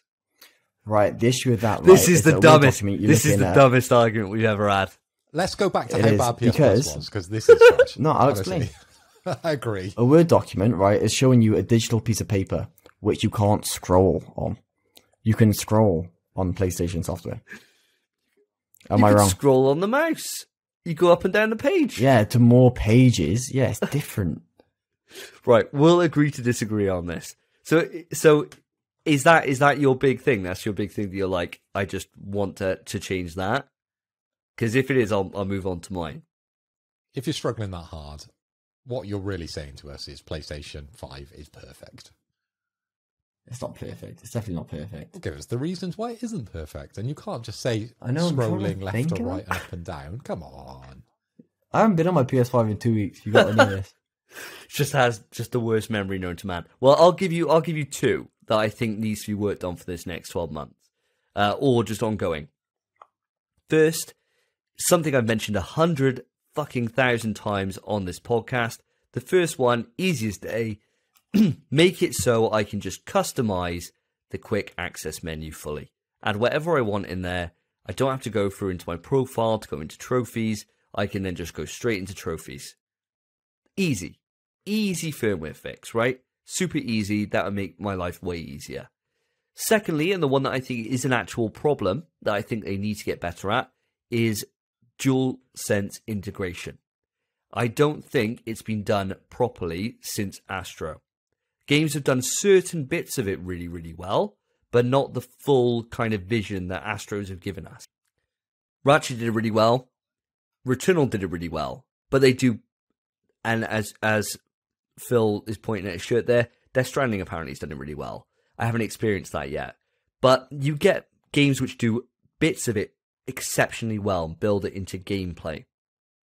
I just think there's more that can be done with that controller, and I look forward to seeing what the studios kind of come up with ongoing from here to make it so it's not just feeling the haptics when you charge a rifle or feeling the pressure in the uh, it in the L2 and R2 when you pull back a bow. Now it's kind of everything kind of like built into it from the ground up to take advantage of it. And it's only really going to be done with first party because third party, why would they spend all those resources when they got to support Xbox, PC, you know, all the different platforms? You you can't make it so specific. What we need is a developer that approaches a game like Nintendo approaches WarioWare. They look at the console and they look at the handsets and they just think, what is the weirdest way you could possibly use it? Like a unicorn or like, you know, just some weird shit like that. We need someone like that to take hold of the DualSense and let's see what is possible. I got one for you, and it's the, it's the only studio that I think could do something like that, and it's Media Molecule. I knew you were going to say Media Molecule. They could. And I mean, you know, they they do some crazy shit. They go outside the box. You know, when they were when they were messing with VR originally to to like mold clay and things like that. They're the studio that can do this kind of thing. They did wonders with the with the Vita with with Tearaway. They they can do that. Are they ever going to give up on dreams? Are they still going to be around in five years? I mean, we'll have to wait and see on that. Oh, bring, bring dreams to PC, problem solved, make loads of money, shift them onto something like that. There we go. Party games.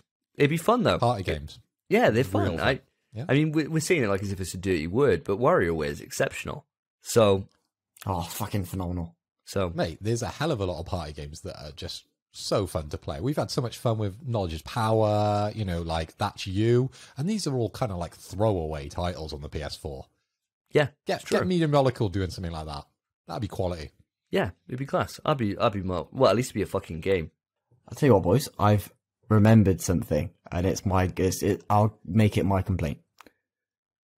So, you might want to play the Bug Hunter track. I'll give you the long one.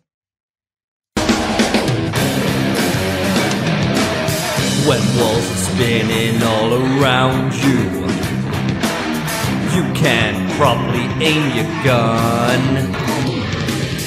You find you're falling through the world. I'll hunt you down cause you're a bug. I find the bugs, the big bad bugs. The Bug Hunter.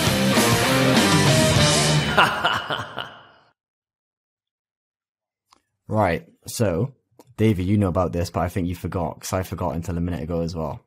What I want them to fix about PlayStation is the excessive amount of bugs I've experienced in all my time. I said this as a joke, but then I remembered the one. I was playing games with Davey the other week, and when he turned his PS5 off and put it into rest mode, it also turned off my PlayStation 5. I remember this. I remember this now. I totally forgot about this. I forgot about it till right now. When he put, I messaged him to say, "Did you just put your PS5 into rest mode?" He said, "Yeah, why?" I said, "Because mine went into rest mode as well. I didn't even turn it off." Weird. That is so weird. It's almost like you boys have got some sort of P- PlayStation umbilical cord between you. We're like sharing Yeah. experiences because you come on the show with the same views, and now your PlayStation is doing exactly the same bullshit. I was going to stay up and keep playing games, and my TV is linked to my PS5. So when my PS5 turns off, my TV does too. So my PS5 and my TV just turned off, and I was just sat there like, That's so weird. It's so weird. Such a weird bug. That is so strange. I mean, it's never happened to us ever again, though, is it? We haven't played Actually, since. yeah, that's a good point. Maybe it happened tonight. I have to wait and see. Yeah. But yeah, that's, that's a pretty weird one. I mean, to be fair, you cannot be the only person in the world, right, that has this kind of luck. And could it be chalked up that it's a launch day console? Yeah. Yeah, you, you probably could chalk it up to that. But there are still every single patch we're seeing stability stability patches. We're seeing stability improvements. So they obviously know there's issues and I I don't get them to the same level as you do, but I do get occasional game crashes, right? That does still happen every now and again. Super rare. It'd be like maybe one in every 10 uh, play sessions, and it's never caused me any issues. But if I was getting them like you were, I don't think I'd be as as rosy as you are about all this. I think I'd be a bit livid, to be honest with you. I think I would, probably would have sent it back by now and got It's a an replacement. expensive- Mate, after console. my life, you take it on the chin. Yeah, I, yeah, I guess so. Yeah, I guess. So, is there anything else we want to we want to mention, guys, or are we done here? I think we've all agreed we're very we're all very proud and very happy to be PlayStation 5 owners. We love the games that we've experienced so far and we just can't can't wait for the future. Um, there's a couple of things to improve, but overall there's no deal breakers. Yeah, I think all the things we've said really are, are more kind of like nitpicky things, really, rather than anything that's like a severe issue that we have. Um, and that's always a positive start. Uh, th- that's always a positive way to go. No one's taken it back to CEX just yet. I'm thinking, you know, because imagine if my scenario with Davey was I was streaming Days Gone and I'd played for like 20 hours straight and not saved. And I was like showing him the end of it. And then he's like, all right, I'm off the bed, turns it off, and I lose all that. Actually, rest mode would keep the game going. It doesn't matter. But matter. imagine, right? You took Doesn't back matter. to CEX, sold it on, someone else bought it, and then when they turn their PlayStation off, David's PlayStation turns off. it's like That'd the class. haunted PlayStation. That would be horrendous for me. That would be a, that would be a nightmare for me. I'd, Uh, I'd buy it, Spence. Sell it to me because I'd love that. David would be like, "Oh, I've really got really far in Elden Ring." I'll be like, "No, you haven't." That would be savage. That would be savage. Well, listeners, we'll keep you updated with the haunted PlayStation 5 and see if our our ethereal umbilical cord is actually linked or not in future episodes. But that is the end of episode 29 of In PS We Trust. Hope you enjoyed listening. Thank you ever so much for your time today. Remember, there's one best way to support our podcast, and that is to review it please review it on if you're on Apple, Google, Google. wherever else, right? I don't care. I'm not fussy. Wherever you can put a review on, I'd really, really appreciate it. We all would. If you're watching us on YouTube, then hello. Thank you ever so much for checking out the video. Please put a like on the video if you enjoyed it and subscribe to the channel for more content. Remember, we're a fortnightly podcast. So we will see you here in two weeks' time for episode 30, the big quiz. If you have any questions you want to submit for any of us to use, maybe we could have a little section with just for audience questions. Who knows? Just write in. The email, pswetrust at gmail.com. Of course, you can join us on the Reddit. Lots of conversation going across all the different episodes that we've done so far. So if you're an early adopter, we can talk about God of War. Why not? Jump in. The URL will be in the description. And like always, please feel free to reach out to us on Twitter at NPS Trust or any of our individual Twitter accounts, also in the description below. Thank you for your time, guys. I've been Davey. I've been Phil. And I've been Spencer. Take Spencer. care, guys. Peace. In PS We Trust is hosted by Davey, Phil, and Spencer. You can write into the show via our email, pswetrust at gmail.com. Our Twitter is at In PS We Trust.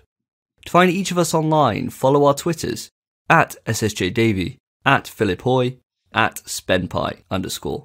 Thank you for listening. Take care of yourselves, take care of each other. See ya.